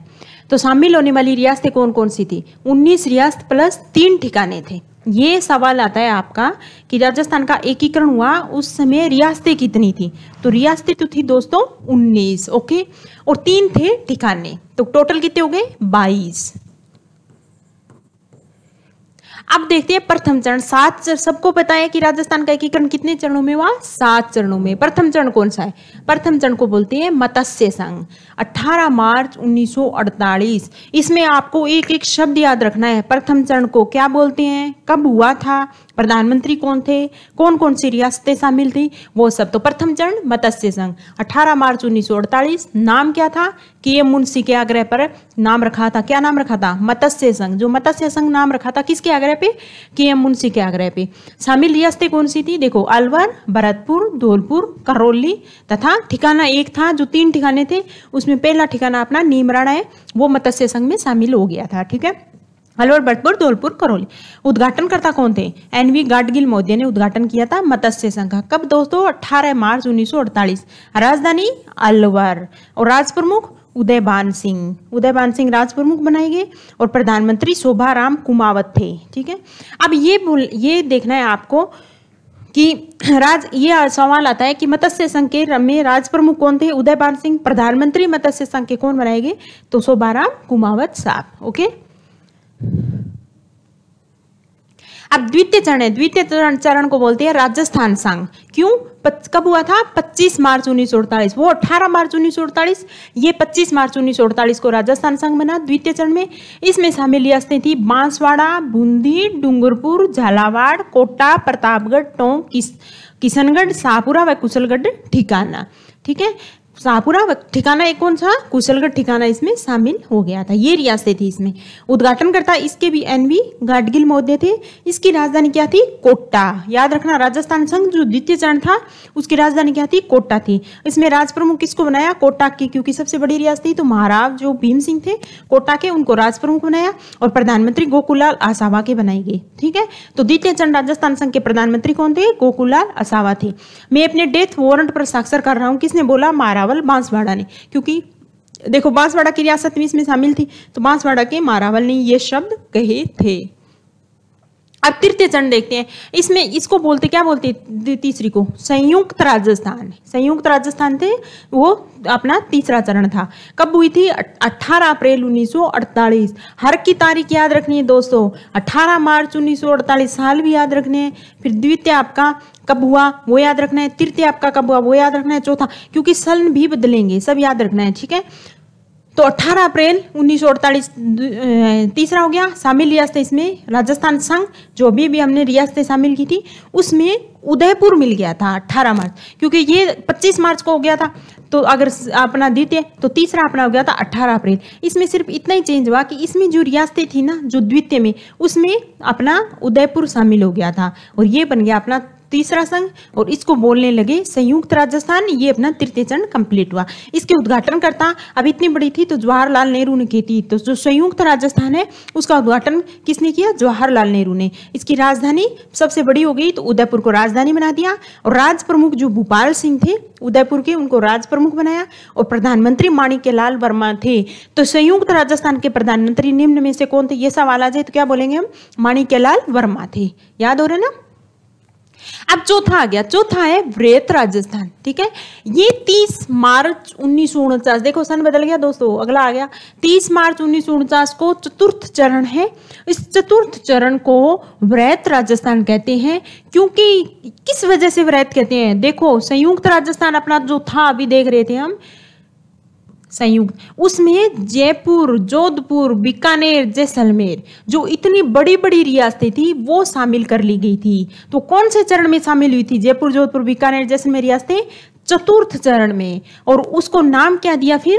कि भाई, ये तो वृहत राजस्थान बन गया, क्योंकि संयुक्त राजस्थान में चार बड़ी रियासतें शामिल हो गई थी, प्लस लावा का ठिकाना शामिल हो गया। तो लावा का ठिकाना कब हुआ था? चतुर्थ चरण में हुआ था, ठीक है? इसके उद्घाटन करता कौन थे दोस्तों? सरदार वल्लभ भाई पटेल ने। तो वरायत राजस्थान का उद्घाटन किसके द्वारा किया गया? ये सवाल आ जाए तो सरदार वल्लभ भाई पटेल ने। पी सत्यनारायण समिति थी एक। इसकी सिफारिश पर जयपुर को राजधानी बनाया। जयपुर जोधपुर में ये हो गया था। कि किसको राजधानी बनाया जाए? पर पी सत्यनारायण कमेटी थी, इसने सिफारिश दी, जब जयपुर को राजधानी बनाया। राजधानी देखो जयपुर बन गई, हाईकोर्ट फिर ये बोला भी ठीक है, हाईकोर्ट हम जोधपुर में बना देंगे। क्लियर अब चतुर्थ के बाद अपना आता है पांचवा चरण। अभी चतुर्थ हो रहा है। उसने हाईकोर्ट हम जोधपुर को दे दिया, राजधानी हमने जयपुर को दे दी, और बीकानेर में ठीक है, शिक्षा विभाग दे दिया, आज भी शिक्षा विभाग बीकानेर में, खनिज कष्ट विभाग है, वह उदयपुर को दे दिया, और कृषि विभाग सीधा था, वो भरतपुर में है। राज प्रमुख इसका किसको बनाया? जयपुर की थी, सबसे बड़ी हो गई तो मान सिंह द्वितीय को राज प्रमुख का पद बनाया गया। मान सिंह द्वितीय राज प्रमुख हो गए, और महाराज प्रमुख का एक और फिर कर दिया, क्योंकि राज प्रमुख बड़ा हो गया फिर इसके बाद एक महाराज और अब उदयपुर जो भोपाल सिंह थे, उसको ये बोला था कि आजीवन रखेंगे। तो फिर क्या क्या? महाराज प्रमुख तो वही रहे, भोपाल सिंह उदयपुर वाले और राज प्रमुख का नया पद आ गया जो मान सिंह द्वितीय को बनाया। प्रधानमंत्री याद रखना ब्रैत राजस्थान के प्रधानमंत्री कौन थे दोस्तों? हीरालाल शास्त्री। जब भी तक हीरालाल शास्त्री राजस्थान के प्रधानमंत्री, वो प्रधानमंत्री बोलते थे उस टाइम वो रहे, जब तक अपने ये नियमित चुनाव नहीं हो गए टीकाराम पालीवाल साहब है, जब भी वो निर्वाचित मुख्यमंत्री थे, उस तक अपने हीरालाल शास्त्री जी रहे, ठीक है? तीस मार्च को राजस्थान दिवस मनाया जाता है। सबको पता है, हम रोज, हर साल 30 मार्च को राजस्थान दिवस मनाते हैं। इसी वजह से, क्योंकि राजस्थान की जो बड़ी रियासतें थी, उनका एकीकरण 30 मार्च उन्नीस सौ उनचास को हो गया था तो इसकी याद में मनाया जाता है, ओके? अब देखते हैं पांचवा चरण। पांचवा चरण में क्या है? अब संयुक्त वृहतर राजस्थान कर देते हैं। संयुक्त बन गया, वृहत भी बन गया तो संयुक्त वृहतर राजस्थान नाम दे दिया पाँचवें चरण को। कब हुआ? पंद्रह मई उन्नीस को हुआ। इसमें शामिल रियासतें कौन सी थी? वृहत राजस्थान के अंतर्गत मत्स्य संघ, जो सबसे पहले बना था, वो संयुक्त राजस्थान, वृहत राजस्थान है, उसमें शामिल कर लिया गया। कब? पंद्रह मई उन्नीस सौ उनचास को। शंकरदेव समिति आई थी दोस्तों, सदस्य प्रबुद्ध आर के सिद्धावा की सिफारिश पर शंकरदेव समिति जब इसको शामिल कर लिया गया था। इसकी राजधानी तो वही रहेगी जयपुर राज प्रमुख मान सिंह द्वितीय, वो जयपुर वाले वही रहेंगे। प्रधानमंत्री हीरालाल शास्त्री जी रहेंगे। बस पाँचवें चरण में ये याद रखना है कि कब हुई? पंद्रह मई उन्नीस सौ उनचास को हुआ। इसके अंतर्गत जो अपना वृहत राजस्थान बना था, उसमें जो सबसे पहले अठारह मार्च अड़तालीस का जो मत्स्य संघ अलवर भरतपुर धौलपुर करौली था, उस क्षेत्र को इसमें मिला लिया गया। तो अब अपना अधिकतर जो राजस्थान है, उसका एकीकरण हो गया था पंद्रह मई उन्नीस सौ उनचास तक। और ये शंकरदेव समिति की सिफारिश पर हुआ था। अब छठा चरण है। छठा चरण कब हुआ था? 26 जनवरी 1950 देखो, भारत का संविधान लागू हो गया। संविधान लागू होते ही राजस्थान संघ बन गया। संयुक्त वृहत राजस्थान में सिरोही एक बच गया था, सिरोही। तो आबू दिलवाड़ा जो क्षेत्र थे, उनको छोड़कर टोटल जो सिरोही था, उसका विलय कर छठे चरण में कर लिया। और छठा चरण कब बना? छब्बीस जनवरी उन्नीस सौ पचास को। इसको राजस्थान संघ नाम दे दिया गया। सातवां चरण था जो अपना वो हुआ था एक नवंबर उन्नीस सौ छप्पन को। राज्य पुनर्गठन आयोग आया था, जिसमें अलग अलग राज्य थे। उनको कैसी छोटी रियासतें हैं, उनको मिला के एक एक रियासत में उसका निर्माण कर दिया जाए। कौन सी बड़ी रियासतें हैं, उनको अलग अलग कर दिया जाए। इस वजह से राज्य पुनर्गठन आयोग आया था एक नवंबर छप्पन को। तब अपना भी ये सब काम हुआ तो अपने जो क्षेत्र थे जो आबू दिलवाड़ा के क्षेत्र बचे हुए थे तो इस सातवें चरण में आबू दिलवाड़ा क्षेत्र थे, वो सिरोही के थे, वो अपने राजस्थान में मिल गए, और सुनेल टप्पा क्षेत्र जो मध्य प्रदेश और अजमेर का दिलवाड़ा क्षेत्र था, वो राजस्थान में मन, मिल गए, ठीक है। इसमें राज प्रमुख का पद था इसके तहत एक नवंबर छप्पन को राजप्रमुख का पद समाप्त कर दिया गया और राज्यपाल का सर्जन हुआ। सरदार गुरुमुख निहाल सिंह को राज्यपाल बनाया गया। ये राजस्थान के प्रथम राज्यपाल थे। सातवें चरण में हुआ था एक नवंबर छप्पन को। क्लियर ये अपना एकीकरण है। राजस्थान का सात चरण कंप्लीट हो गए। अब देखते हैं राजस्थान में जन जागृति और प्रजामंडल। इसमें क्या है? कुछ महत्वपूर्ण संस्थाएँ हैं, वो देखेंगे। फिर कैसे प्रजामंडल थे, वो सब देखेंगे। राजपूताना मध्य भारत सभा। ये सवाल कल परसों भी आया था। 1919 ईस्वी में इसकी स्थापना हुई थी दोस्तों। दिल्ली में हुई थी गणेश शंकर विद्यार्थी, विजय सिंह पथिक, जमनालाल बजाज, चांदकण शारदा। इन सब के प्रयासों से दिल्ली में 1919 में राजपूताना मध्य भारत सभा इसकी स्थापना हुई थी। अब राजस्थान सेवा संघ की बात कर ले। ते उन्नीस उन्नीस में वर्धा में स्थापित हुई थी। विजय सिंह पथिक रामनारायण चौधरी, हरिभाई किंकर। इससे पूछ सकते हैं कि राजस्थान सेवा संघ से नियमन से कौन सा संबंधित नहीं था। तो हम सबको ये याद रखने हैं। वर्धा में उन्नीस राजस्थान सेवा संघ। अक्टूबर बीस में, याद रखना, अक्टूबर बीस में राजस्थान सेवा संघ को वर्धा से स्थानांतरित करके अजमेर में स्थानांतरित कर दिया। वर्धा में स्थापना भी उन्नीस को, पर वर्धा से अजमेर में स्थानांतरित कब किया? अक्टूबर बीस में। अब सर्व सभा देखते हैं। 1907 में चूरू में स्थापित हुई थी स्वामी गोपाल दास के प्रयासों से सर्व सभा। मारवाड़ हितकाणी सभा 1923 जोधपुर में स्थापित हुई थी। जयनारायण व्यास आनंद राज सुराना के प्रयासों से, ठीक है? अखिल भारतीय देशी राज्य लोक परिषद उन्नीस सौ ईस्वी, याद रखना दोस्तों प्रथम अधिवेशन इसका मुंबई में हुआ था। अखिल भारतीय, पूरे भारत में जो देशी राज्य है, उनकी लोक परिषद की स्थापना हुई उन्नीस सौ सत्ताइस में। इस अखिल भारतीय देशी राज्य परिषद का अधिवेशन हुआ था अपना मुंबई में, ठीक है? राजस्थान में हरिजन सेवा संघ उसकी स्थापना उन्नीस में हरविलास शारदा के प्रयासों से हुई थी। तो राजस्थान हरिजन सेवा संघ की स्थापना कब हुई थी? उन्नीस में। हरविलास शारदा जो प्रमुख समाज सुधारक थे, उनकी प्रयासों से। अब देखते हैं प्रजामंडल, ठीक है? प्रजामंडल मुख्य देखेंगे कि कौन कौन से प्रजामंडल थे, कहाँ स्थापना हुई, उनके प्रमुख नेता कौन से थे, उनका उद्देश्य क्या था। टोटल प्रजामंडल का देखें तो इनका उद्देश्य ये था कि जनता की समस्या है, उनमें उसके प्रति जागरूकता लाओ, उनके क्या क्या अधिकार है। जनता को बताओ भी आप ब्रिटिश राज में क्यों रह रहे हो, आपके खुद नागरिक अधिकार है, उनके प्रति जनता को जागृत करना। तो जनता की समस्याओं के प्रति सकारात्मक रूप अपनाते हुए नागरिक अधिकारों के लिए संघर्ष करना इन प्रजा का, जब इनका नाम देखो, प्रजा के मंडल, प्रजामंडल, ठीक है? सबसे पहला है, देखो दोस्तों, जयपुर प्रजामंडल, उन्नीस ईस्वी में स्थापित। सबसे पहले स्थापित हुआ था उन्नीस में जयपुर प्रजामंडल। किसकी अध्यक्षता में? कर्पूर चंदल पाटनी की अध्यक्षता में, ओके? पर इसका मान्यता नहीं मिली, पर आगे जाके छत्तीस सैंतीस में इसका पुनर्गठन किया। कब हुआ था? इकतीस में स्थापना, छत्तीस सैंतीस में पुनर्गठन। किसकी अध्यक्षता में? चिरंजी लाल मिश्र और जमनालाल बजाज महोदय के प्रयासों से पुनर्गठन हुआ। जेंटलमैन एग्रीमेंट हुआ था 1942 में, सबको पता है। भारत में भारत छोड़ो, आंदोलन चल रहा था। जब जयपुर प्रजामंडल ने ये बोला कि जो तात्कालिक नरेश थे जयपुर के, जो उन देशी रियासत थी, उनसे समझौता किया। उनको बोला, आप हमें अधिकार दे दो, हम जो भारत छोड़ो आंदोलन है, इसमें शामिल नहीं होंगे। तो ये हिरालाल शास्त्री उन्नीस में हुआ था। जयपुर के प्रधानमंत्री थे मिर्ज़ा इस्माइल उस समय। याद रखना, और हीरालाल शास्त्री थे जयपुर प्रजामंडल के उस समय अध्यक्ष। उनके मध्य हुआ, इसमें तय हुआ कि पार छोड़ो आंदोलन में जयपुर प्रजामंडल भाग नहीं लेगा। इसके विरोध स्वरूप किसने? फिर बाबा हरिचंदर, हरिश्चंद्र, रामकरण जोशी, दौलतमल भंडारी, तीनों वर्ड याद रखना। बाबा हरिश्चंद्र रामकरण जोशी, दौलत भंडारी, इनके द्वारा आज़ाद मोर्चे का गठन किया गया। इन्होंने बोला, हम तो उन्नीस सौ बयालीस को जो बार छोड़ आंदोलन है, इसमें भाग लेंगे। दूसरा आता है, बीकानेर प्रजामंडल। दूसरा नहीं मतलब कोई क्रम वाइज नहीं है, पर मैं आपको बता रही हूँ।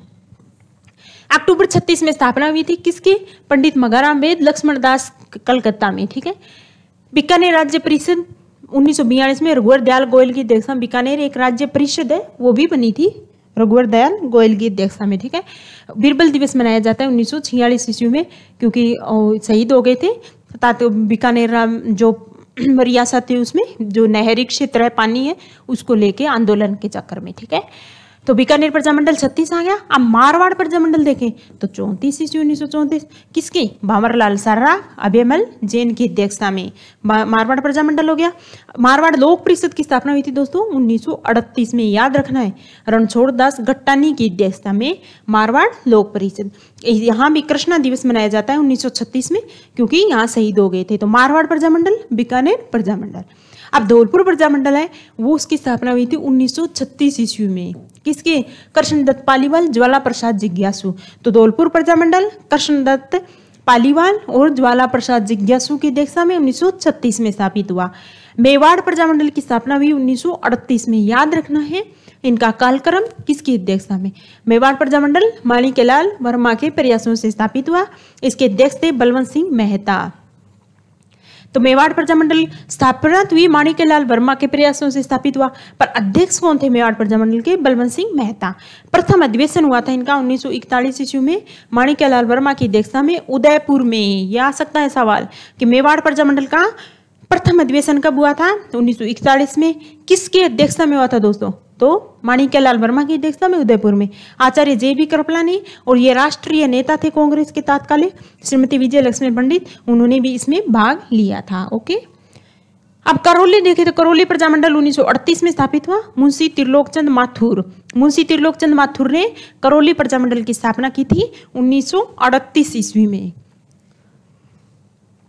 अब ये वन लाइनर है, सारी चीज़ें आपको एक, मुझे पूरा पता है कि आप लोगों ने अपनी प्रिपरेशन कर ली है। राजस्थान की इतिहास से संबंधित, जहाँ से भी आपने क्लासेज किए हैं नोट्स पढ़े हैं सेल्फ स्टडी की है, आपने सब अपना पूरा प्रिपरेशन को कर लिया है आपने, है ना? फुल फोकस है आपका।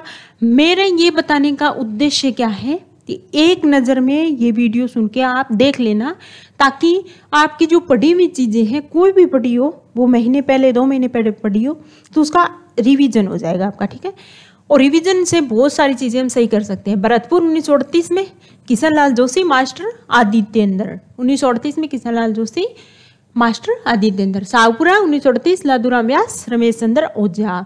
हाड़ौती प्रजामंडल, चौंतीस में स्थापित हुई थी दोस्तों, पंडित नैनूराम शर्मा। बहुत बार सवाल आता है, नैनूराम शर्मा कहाँ के है? ताड़ौती उसमें कोटा, बूंदी, ठीक है, हाड़ौती में वही थे। कोटा में देखो, उन्नीस में कर दी नैनूराम शर्मा, अभी नरी की अध्यक्षता में।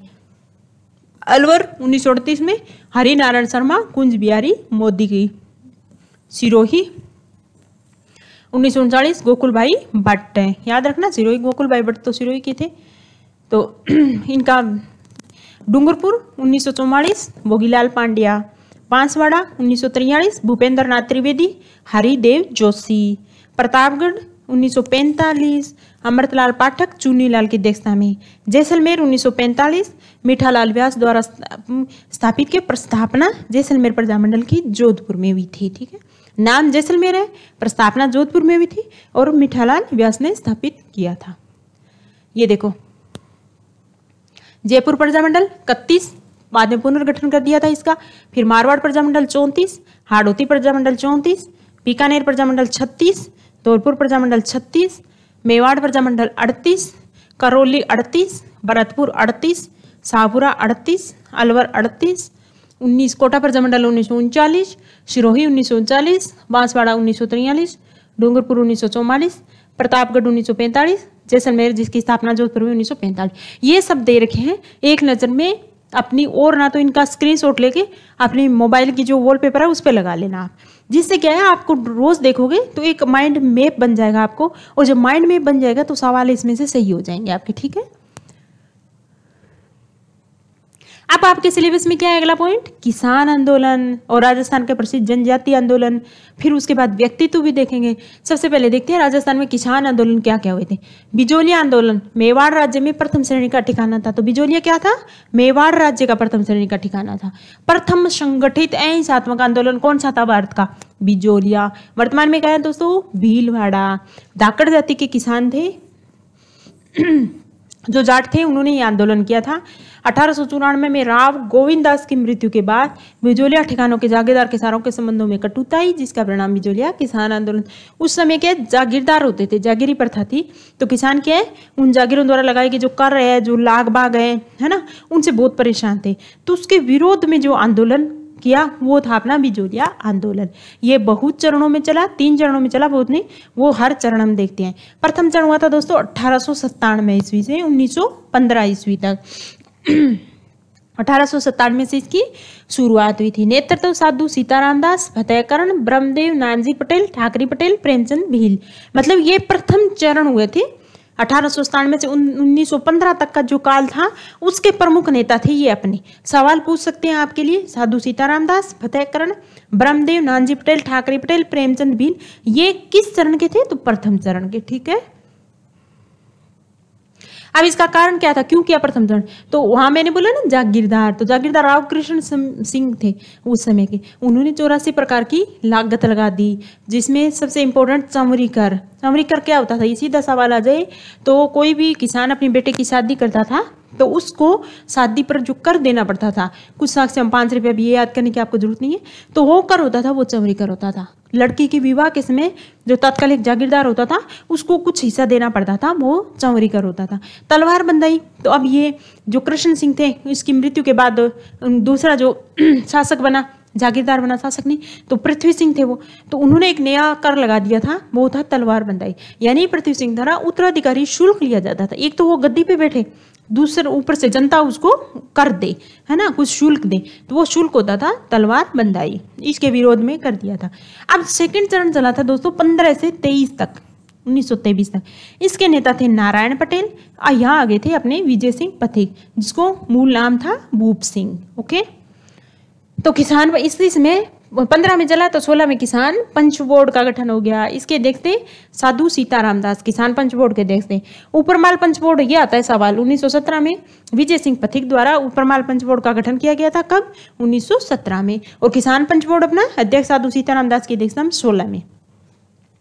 जो ऊपरमाल पंच बोर्ड विजय सिंह पथिक द्वारा गठित हुई, इसके अध्यक्ष उन्होंने बनाया मन्ना पटेल को। ओके?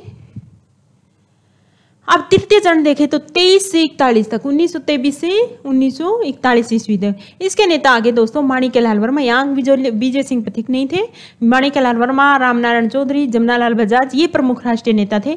महिला नेता अगर देखें तो अंजना देवी चौधरी, नारायणी देवी वर्मा और रमा देवी। अब नारायणी देवी, रमा देवी, अंजना देवी, इनका संबंध किससे? तो सिंपल भाषा में बता देना, बिजोलिया किसान आंदोलन की प्रमुख महिला नेता ये। फिर आया आयोग, आया बिंदुलाल भट्टाचार्य आयोग, अप्रैल 20 में बनाया। सदस्य बिंदुलाल भट्टाचार्य अफजल अली अमर सिंह, ये याद करने की आपको ज़रूरत नहीं है। तो उच्च स्तरीय कमेटी और बनी 1922 में ए जी जी हाउलैंड थे उस समय के, उनकी अध्यक्षता में, जिसमें पैंतीस लाख है वो समाप्त कर दी गई। उन्नीस सौ इकतालीस में मेवाड़ की डिमांड थे। टी विजय राघवाचार्य ने राजस्व मंत्री डॉक्टर मोहन सिंह को बिजोलिया भेजा। उनके प्रयासों से यह आंदोलन क्या हुआ? समाप्त हो गया। ओके? दूसरा अपना बेंगू किसान आंदोलन। ये भी मेवाड़ में था, बेंगू। कब हुआ था? 1921 ईस्वी में। इसका नेतृत्व तो रामनारायण चौधरी ने किया था। तो बेंगू किसान आंदोलन 1921 रामनारायण चौधरी की देखता में। इसका कारण अनावश्यक वही अत्यधिक लाग बाग, सामंती जुल, गोविंदपुर हत्याकांड किससे संबंधित है दोस्तों?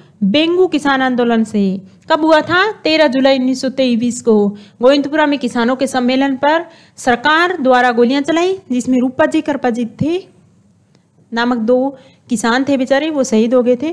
तो रूपा जी करपा जी का संबंध कौन से किसान आंदोलन से है? ये सवाल आ जाए तो आप फट से उत्तर लगा देना, बेंगू किसान आंदोलन, ओके? अब ट्रेंच कमीशन आया था एक, बेंगू किसानों की शिकायतों की जाँच हेतु, जो तात्कालिक मेवाड़ सरकार थी, उसके द्वारा गठित किया गया था। तो जो ट्रेंच कमीशन था, वो मेवाड़ सरकार द्वारा गठित किया। कौन से किसान आंदोलन से? तो बेंगू किसान आंदोलन से ट्रेंच कमीशन का संबंध है।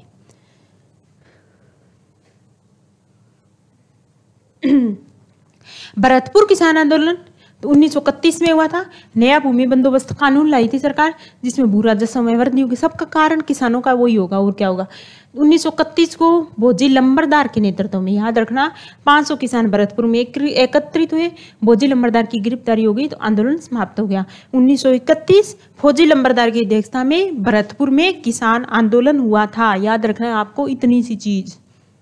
अलवर किसान आंदोलन इक्कीस से चल रहा था, पच्चीस तक ओके यहाँ था कि जंगली सुअर थे द्वारा किसानों की फ़सल बर्बादी के निराकरण हेतु इक्कीस में आंदोलन शुरू किया। जंगली सुअर होते थे, किसानों की फ़सल है, वो बर्बाद कर देते थे। तो उसके विरोध में किसानों ने आंदोलन चलाया इक्कीस में। नीमूचाणा हत्याकांड का संबंध किससे है? सिंपल सवाल आ जाए तो यह अपना अलवर किसान आंदोलन। अलवर महाराजा जय सिंह द्वारा लगान में बढ़ोतरी पर चौदह मई 1925 को 800 किसान नीमूचाणा गाँव में एकत्रित हुए। सभा द्वारा, सभा पर सैनिक बलों द्वारा अंधाधुंध फायरिंग करी, जिसमें सैकड़ों लोग मारे गए। ठीक है? अब नीमूचाणा हत्याकांड कब हुआ था? 1925 में हुआ था, ठीक है? किस किसान आंदोलन से संबंधित था? अलवर से। महात्मा गांधी ने इस कांड को जलियांवाला बाग हत्याकांड है, उससे भी विभत्स बताया है। और इसे दोहरी डायर सही की संज्ञा दी है। तो महात्मा गांधी ने दोहरी डायर सही की संज्ञा किसको दी? नीमूचाणा हत्याकांड को। जलियांवाला बाग हत्याकांड से विवत्स किसको बताया? तो नीमूचाणा हत्याकांड को। नीमूचाणा हत्याकांड का संबंध किस किसान आंदोलन से? तो अलवर किसान आंदोलन से। क्लियर? और रियासत अखबार था गांधी जी का। इसकी तुलना उसमें जलियांवाला बाग हत्याकांड से की है। मेव किसान आंदोलन, मेव सबको बताया और भरतपुर का क्षेत्र है, वो मेव कहलाता था। वहाँ मेव किसान, किसानों ने आंदोलन कर दिया। अंजुमन खादिम संस्था थी एक, इस्लामी संस्था। 1932 में मोहम्मद हादी के नेतृत्व में स्थापित हुई थी। उसने इस किसान आंदोलन में महत्वपूर्ण योगदान दिया था।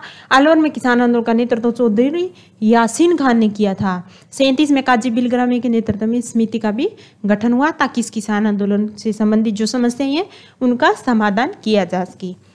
बूंदी किसान आंदोलन नेता नैनूराम शर्मा। राबी हत्याकांड, ये 1923 में हुआ था दोस्तों, बूंदी किसान आंदोलन। किसकी अध्यक्षता में? नैनूराम शर्मा की अध्यक्षता में। 1923 में डाबी हत्याकांड हुआ। नानक भील देवीलाल शहीद है। देवीलाल गुर्जर है, वो दोनों शहीद हो गए थे। कौन? नानक भील देवीलाल गुर्जर। सिंपल सवाल आता है डाबी हत्याकांड का संबंध किससे था? तो बूंदी किसान आंदोलन से। कब हुआ था? दो अप्रैल उन्नीस सौ तेईस को हुआ था। और बूंदी किसान आंदोलन नेहरूराम शर्मा की अध्यक्षता में स्टार्ट हुआ। अब मारवाड़ देखे तो मारवाड़ में किसानों ने संघर्ष किया तो डाबड़ा हत्याकांड हुआ। डाबी बूंदी याद रखना है आपको उन्नीस पर डाबड़ा, जो तेरह मार्च उन्नीस को हो गया, इसका संबंध मारवाड़ किसान आंदोलन से, जो डीडवाना परगना नागौर में है, कि डाबड़ा में मारवाड़ लोक परिषद और मारवाड़ किसान सभा का संयुक्त सम्मेलन हुआ, जागीरदारों हमला कर दिया, जिसे अनेक लोग शहीद हो गए। तो वो अपना डाबड़ा हत्याकांड कहलाता है। ठीक है? अब शेखावटी क्षेत्र में देखें तो 25 अप्रैल उन्नीस को कटराथल सीकर में किशोरी देवी के नेतृत्व में, याद रखना दोस्तों, दस हज़ार महिलाओं का सम्मान, सम्मेलन हुआ।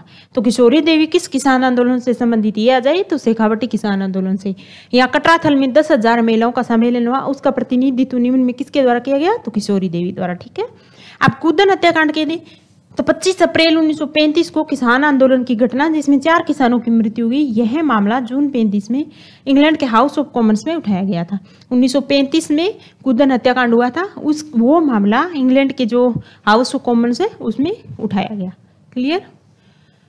अब ये थे आपके राजस्थान के प्रसिद्ध किसान आंदोलन, जिसमें इम्पोर्टेंट देख लिया किसके नेतृत्व में हुआ, कारण क्या था, कौन से समितियाँ या आयोग है, किससे संबंधित था प्रमुख नेता कौन थे? अब देखते हैं राजस्थान में प्रसिद्ध जनजाति आंदोलन। जनजातियों में सबसे पहला कौन सा है? भील आंदोलन। नेता गोविंद गिरी थे। गोविंद गिरी का जन्म बांसिया गाँव हुआ बांसिया गाँव का है? डूंगरपुर में।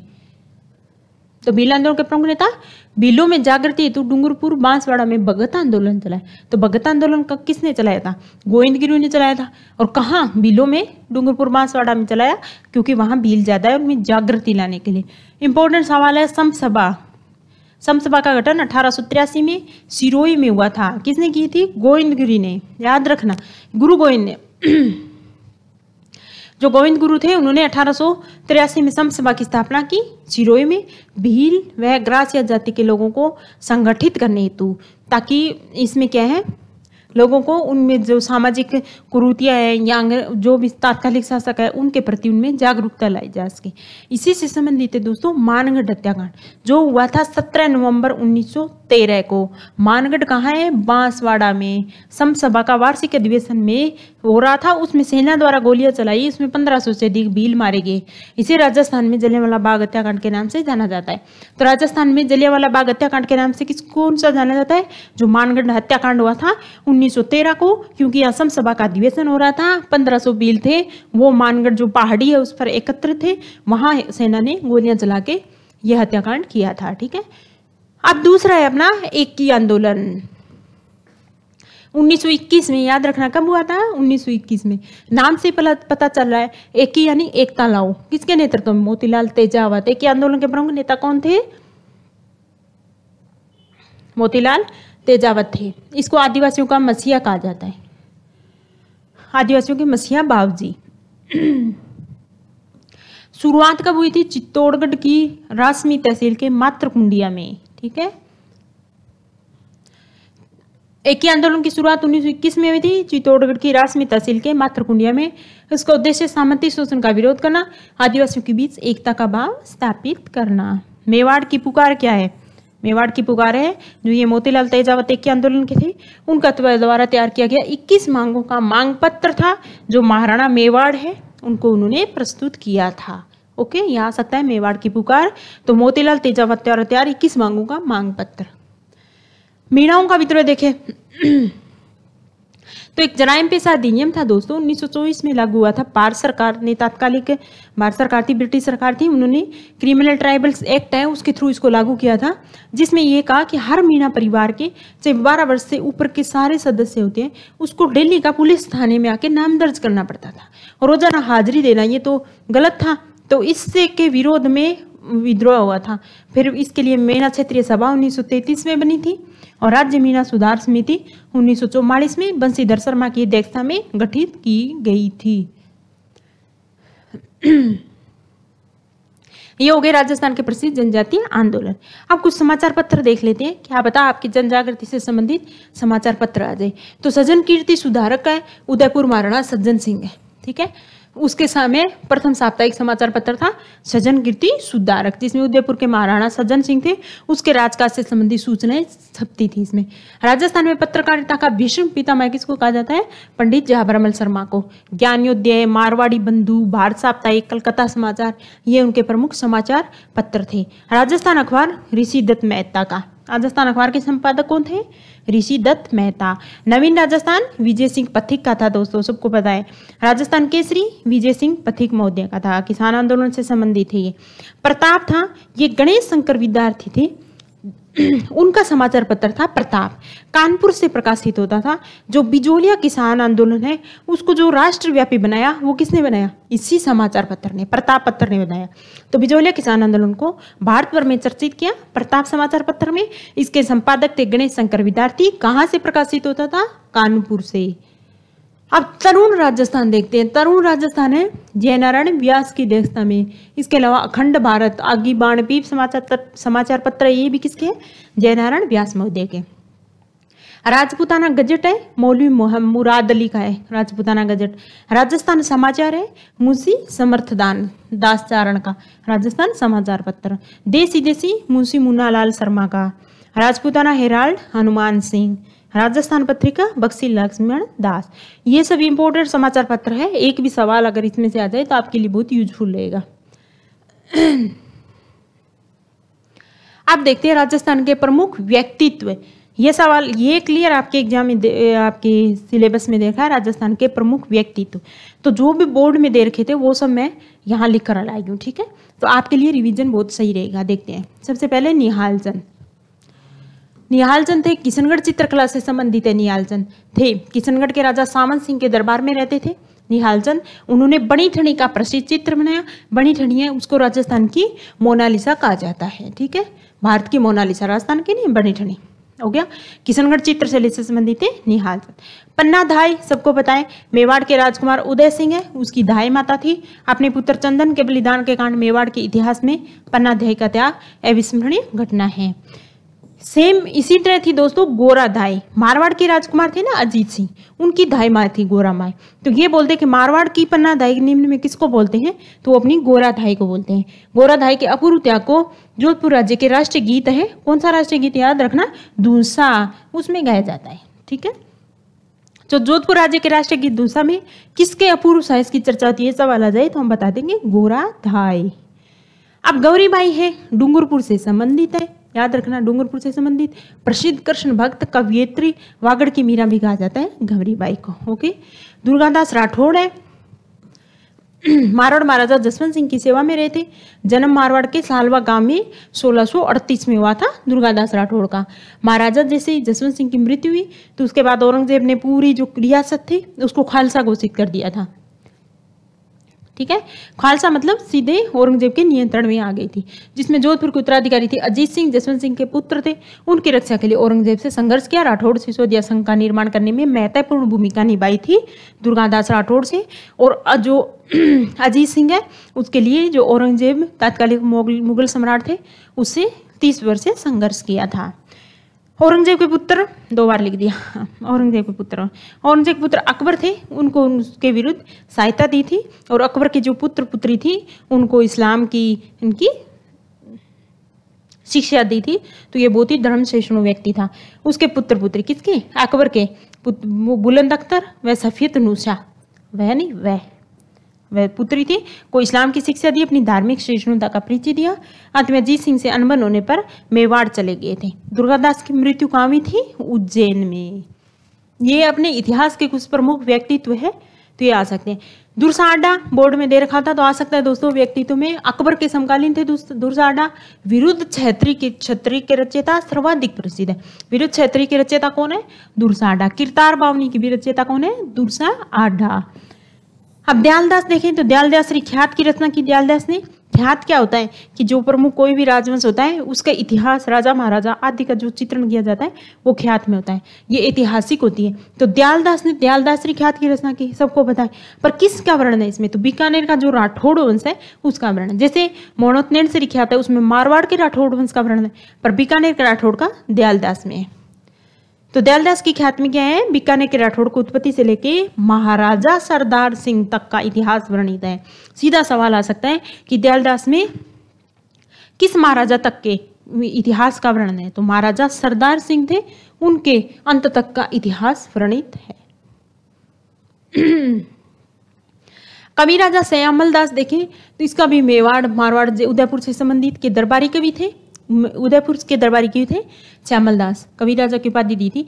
मेवाड़ महाराणा शंभू सिंह के आदेश पर मेवाड़ राज्य का इतिहास लिखा, जो वीर विनोद नामक ग्रंथ में संकलित है। तो वीर विनोद के रचयिता कौन है? अपने कवि राजा श्यामल दास है, जिसमें उदयपुर के इतिहास का वर्णन है। ब्रिटिश भारत सरकार ने इसको केसरे हिंद की उपाधि दी थी। किसको? कवि राजा श्यामल दास को। मेवाड़ महाराणा ने इसको कबीर राजा की उपाधि से विभूषित किया था।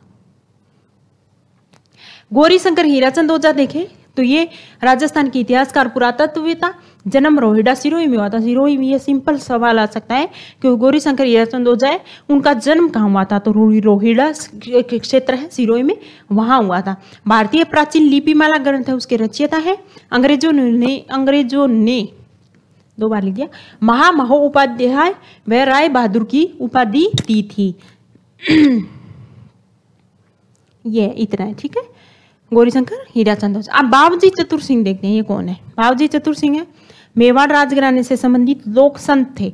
मेवाड़ राजघराने से संबंधित लोक संत बाबूजी, भागवत गीता की गंगा जली टिक्का परमार्थ विचार, योग सूत्र की टिक्का सांख्य तत्व समाज की टीका, मानव मित्र शिवचरित अलख पच्चीसी, अनुभव प्रकाश, चतुर प्रकाश, चतुर चिंतामणि, समाज बत्तीसी आदि के रचयिता थे। लोक संत थे ना?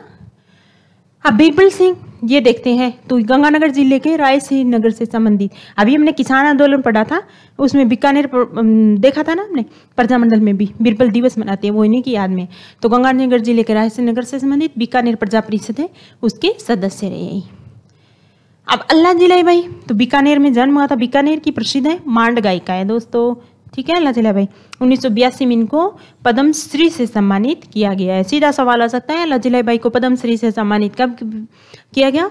तो उन्नीस में बीकानेर की प्रसिद्ध मांड गायिका है। गौरी भाई, ये जोधपुर में राजस्थान की प्रसिद्ध मांड गायिका। हवलदार मेजर पीरू सिंह है। ये परमवीर चक्र से सम्मानित होने वाले पहले राजस्थानी हैं। तो परमवीर चक्र से सम्मानित होने वाले राजस्थान के प्रसिद्ध राज, पहले राजस्थानी कौन है? हवलदार मेजर पीरू सिंह।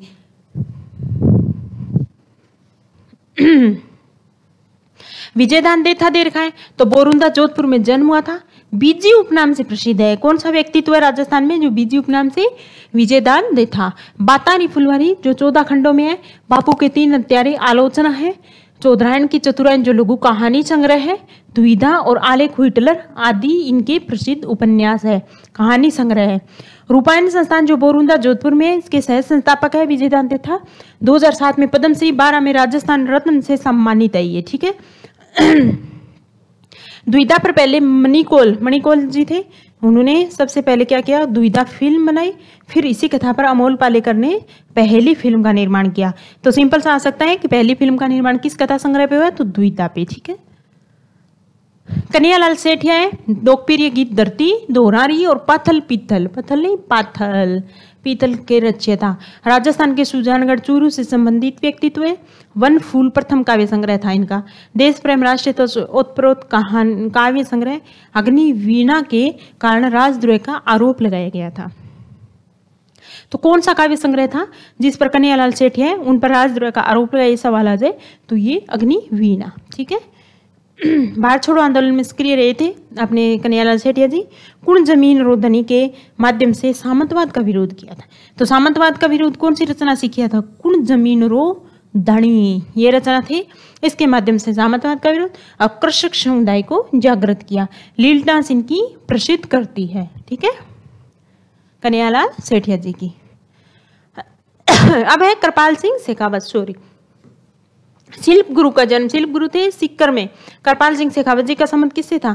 सीकर ज़िले से था, याद रखना है हमको। ब्लू पोट्री है, जो जयपुर की फ़ेमस ब्लू पोट्री जयपुर की सबको पता है ना? इस ब्लू पोट्री को अंतर्राष्ट्रीय पहचान दिलाई और उनको उन्नीस सौ चौहत्तर में पद्मश्री से सम्मानित किया। पी के सेठी है, ये भी तो जयपुर फूट है। जयपुर फुट था, जो कृत्रिम एक, अपना पेड़ था, उसके लिए प्रसिद्ध था, उनको विकसित किया था किसने? पी के सेठी साहब ने, ठीक है? विश्व मोहन भट्ट जयपुर में जन्म, मोहन वीणा का आविष्कार किया था, विख्यात ग्रेमी पुरस्कार से सम्मानित। तो विश्व मोहन भट्ट कौन थे? तो इनका जन्म कहाँ हुआ था विश्व मोहन भट्ट साहब का? जयपुर में मोहन वीणा का आविष्कार किया था और विख्यात ग्रेमी पुरस्कार से सम्मानित। है ग्रेमी पुरस्कार है, वो संगीत के क्षेत्र का पुरस्कार है ग्रेमी पुरस्कार। अंतर्राष्ट्रीय पुरस्कार है। आचार्य तुलसी जी देख ले तो अणुव्रत आंदोलन के सूत्रधार अणुवृत अणुवृत आंदोलन के सूत्रधार, प्रसिद्ध संदेश इंसान, पहले इंसान, फिर हिंदू या मुसलमान। ये संदेश निम्न में किस राजस्थान के व्यक्तित्व द्वारा दिया गया कि इंसान पहले इंसान, फिर हिंदू या मुसलमान? तो ये आचार्य तुलसी ने दिया था। कोमल कोठारी, इनका चित्तौड़गढ़ ज़िले के कपासन में इनका जन्म हुआ था। 1960 में जोधपुर ज़िले के बोरुंदा में रूपायन संस्थान की स्थापना की, जो विजय देथा साहब है। वो इनके सह संस्थापक थे, रूपायण संस्थान की स्थापना 1960 में जोधपुर में किसने की थी? कोमल कोठारी ने। ये अपनी पश्चिमी राजस्थान में लोक कला संस्कृति है, उसके संरक्षक के रूप में रूपायण संस्थान की स्थापना की गई। जगजीत सिंह जी हैं, सब जानते हैं इनको। पर संबंध इनका गंगानगर ज़िले से था। राजस्थान के प्रसिद्ध गज़ल गायक थे, जिसके राष्ट्रीय पहचान थी। 2012 में ये भी राजस्थान रत्न से सम्मानित व्यक्तित्व है, ओके? ये थे अपने दोस्तों राजस्थान के प्रसिद्ध व्यक्तित्व है ठीक है? जो मैंने वो व्यक्तित्व आपको एक बार रिवाइज करवाने की कोशिश की है जो राजस्थान बोर्ड में दे रखे हैं। सवाल क्या है? वहीं से बनते हैं राजस्थान बोर्ड से। बाकी राजस्थान के प्र, प्रमुख व्यक्तित्व है। हो सकता है आपसे कोई खेल खिलाड़ी से संबंधित व्यक्तित्व पूछ ले जैसे अपूर्वी चंदेला पूछ ले अभी अवनी लेखरा थी उसका संबंध किससे है है ना? देवेंद्र झांझड़िया जी से पूछ ले। खेल या अदर कोई भी ऐसी ऐसा व्यक्तित्व जिन्होंने राष्ट्रीय या अंतर्राष्ट्रीय पहचान बनाई है तो हो सकता है ऐसा कोई व्यक्ति तो पूछ ले, पर मैंने यहाँ कवर करने की कोशिश की है, जो अपने राजस्थान बोर्ड में दे रखा है। आई होप आपको बहुत यूजफुल रहेगा ये। तो इस क्लास को, जो अपना मैराथन थी ये राजस्थान के इतिहास से संबंधित। ये चैप्टर ये जो सेशन था अपना खाली राजस्थान का इतिहास, इसमें हमने कवर किया है। राजस्थान जो आर्ट कल्चर का आपको जो सिलेबस दे रखा है, वो हम क्लास करेंगे कल। कल मैराथन करेंगे, नहीं तो बहुत एक लंबी क्लास हो जाएगी, जो आपके लिए भी थोड़ा प्रॉब्लम देगी, आप इतना सुन नहीं पाएँगे। और इस क्लास को आप प्लीज़ एक बार ज़रूर देखना। ये आई होप बहुत यूजफुल रहेगी आपके लिए। मैं ये नहीं कर सक, कह सकती कि हंड्रेड परसेंट इसमें से सवाल आ सकते हैं। देखो, राजस्थान का इतिहास इतना बड़ा है कि उसको जितना पढ़ा जाए उतना कम है। पर ये जो मैं पीपीटी मैंने बनाई है राजस्थान बोर्ड से बनाई है आई होप आपको दस में से अगर सवाल आ रही है तो सात आठ सवाल ये पीपीटी आपकी आ, आराम से कवर कर लेगी। तो आप एक बार इस क्लास को ज़रूर देखना। ओके दोस्तों थैंक यू सो मच